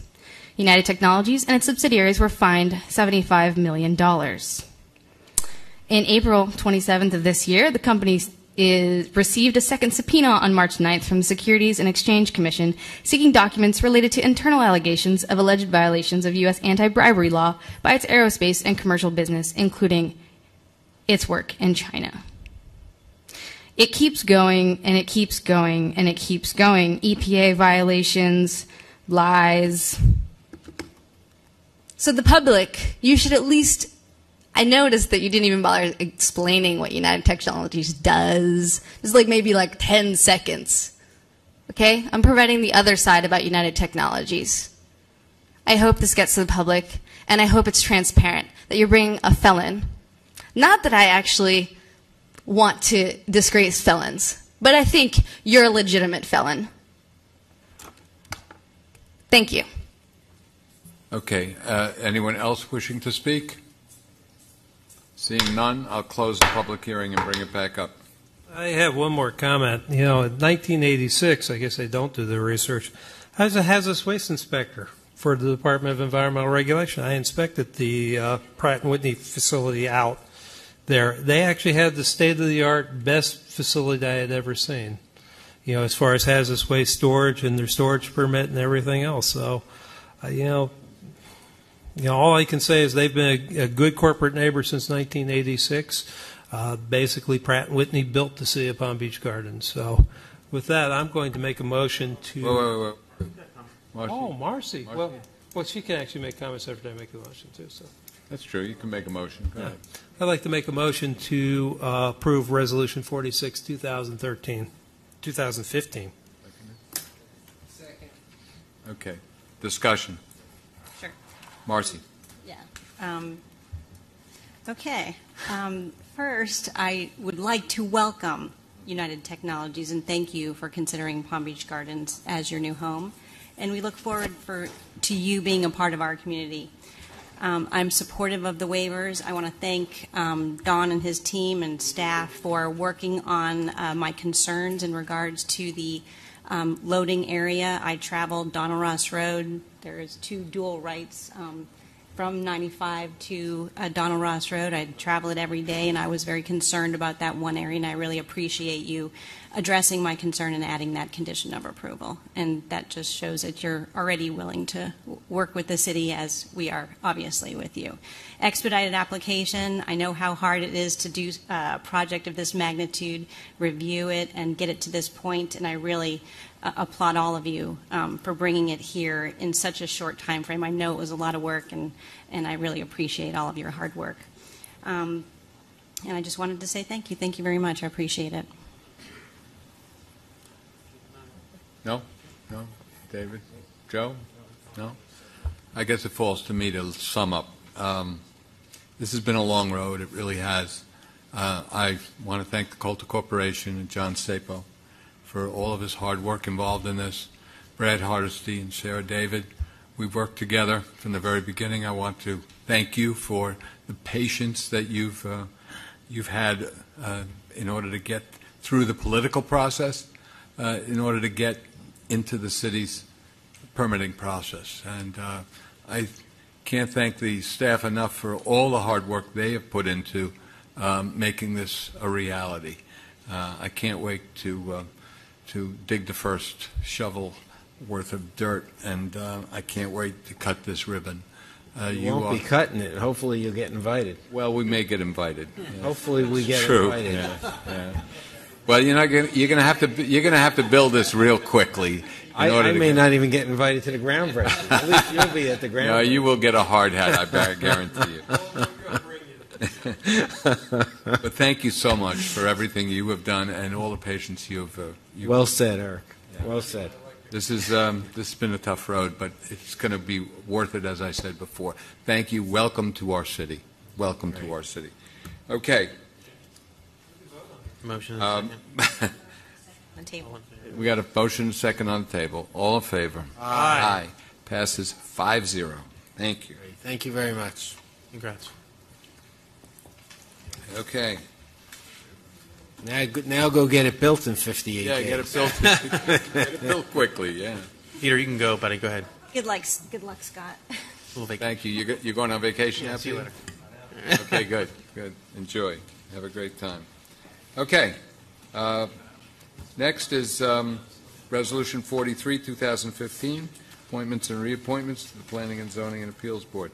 The clerk will read the, the uh, Resolution 43, 2015, a resolution of the City Council of the City of Palm Beach Gardens, Florida, approving the appointment of regular and alternate members to the Planning, Zoning, and Appeals Board, providing an effective date and for other purposes. Okay, um, this is for the planning, uh, the uh, Planning and Zoning and Appeals Board. Um,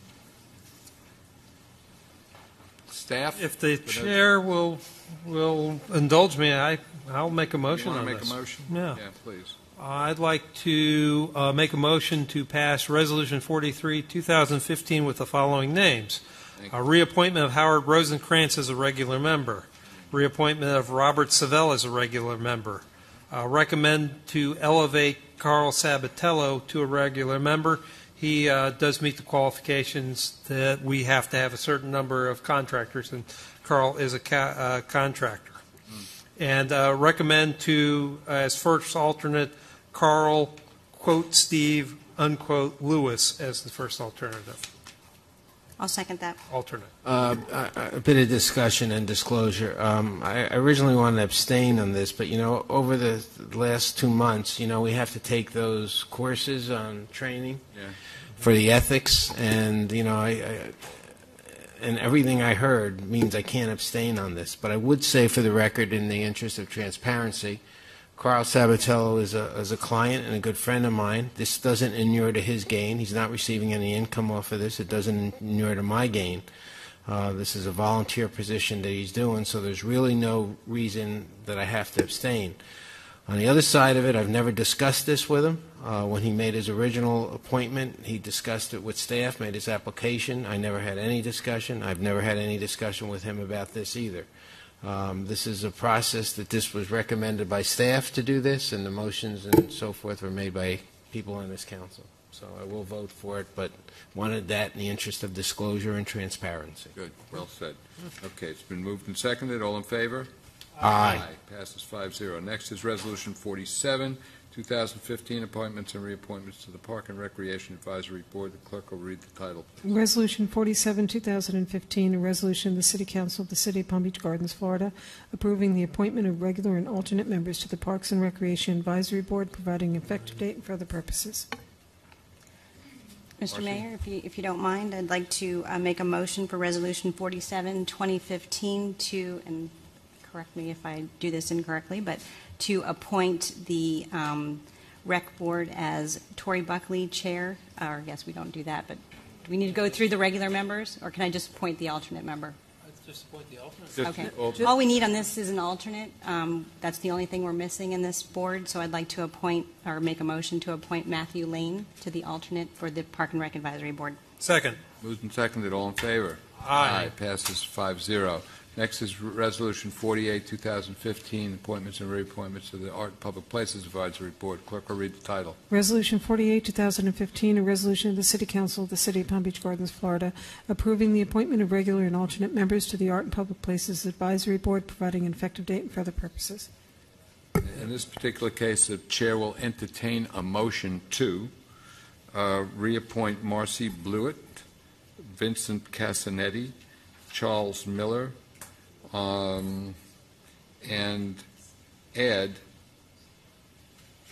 Amy Mauser and Sarah McCarthy as alternates? Are we doing, is this, no. No, Ed, add Amy Mauser and Sarah McCarthy as regular members. I'll second. Moved and seconded, all in favor? Aye. Passes five zero. Next is Resolution 49, 2015, reappointment to the Fire Pension Board. Clerk clerk will read the title, please. Resolution 49, 2015, a resolution of the City Council of the City of Palm Beach Gardens, Florida, approving the appointment of regular members to the City of Palm Beach Gardens Firefighters Pension Board, providing an effective date for other purposes. Thank you. Uh, The, the people's names are already in this resolution. Chair will entertain a motion on Resolution 49, 2015. Move Resolution 49, 2015 as written. Second. Moved and seconded, all in favor? Aye. Passes 5-0. Any items for council action or discussion? I- Marsh? I actually um, just have something very brief, and I'll try to be as brief as possible. Um, I didn't bring it up in the beginning because we've discussed it numerous times, but the Treasure Coast Regional Planning Council has uh, made a few comments um, in regards to um, All Aboard Florida, and I just wanted to quickly brief you guys. Um, local governments have raised concern regarding several items. One is wayward horn, horns, quiet zones, and liability um, for through All Aboard Florida. Um, Treasure Coast had, has reached out to them and asked questions in regards to those issues, and um, they said that with in the way of uh, wayward horns, um, obviously they raised concerns, but um, that all aboard the local government should provide a written, they request or they encouraged local governments to provide written correspondence to All Aboard Florida with copies to specific people, which I can uh, provide to Patty, but that, um, that, that we oppose the wayward horns um, at, at grade crossings. Uh, that's one of the things that they encouraged us to do. I know we've done that before. We've talked to them about quiet zones, and they are encouraging all the local governments to go ahead and, again, oppose Wayside um, horn. wayside horns uh, and obviously encourage quiet zones. And liability, they're saying they're getting more information because All Aboard Florida, of course, is not accepting any liabilities for any of the crossings. So I just wanted to bring that up to you and say that they're working on that, and uh, they'll be discussing it further, and if they have any information, they'll get, they'll get it back to us. I mean, the horns are a federal requirement. So us writing a letter to protest it doesn't mean. I know, I know, nothing. but I said I would bring it up. so I mean, the, cro- uh, the the secured crossings, whatever. I would totally be okay with that. But the It's horns, I the mean, horns on the you can have the Wayside. horn the, the wayside horns you can have them on the trains themselves you can have them at the intersection crossings and obviously if they're the, on the trains or on the you know at the intersections themselves there's a debate in regards to the horns Way- themselves Wayside so. horns are one of those uh, sec- security measures or supplemental s- Of safety the- measures, uh, which, su- which, which are uh, It's part of qualify all as the a a quiet that zone, we- but they're really not quiet. So, Exactly. so what we want are the supplemental s- uh, safety measures which do not in- Which do not include the Include wayward, the noise. ways, yeah, the Yeah. horns. The wayside horns. Wayside I know I keep saying the wrong thing. Correct. Name The re- wayside horns, they're wayward. Um, We do not want, yeah, exactly.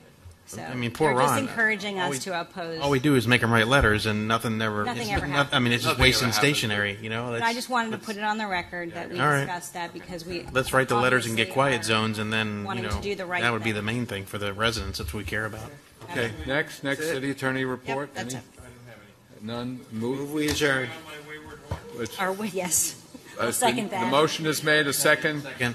Moved and seconded, all in favor? Aye, we're adjourned, thank you.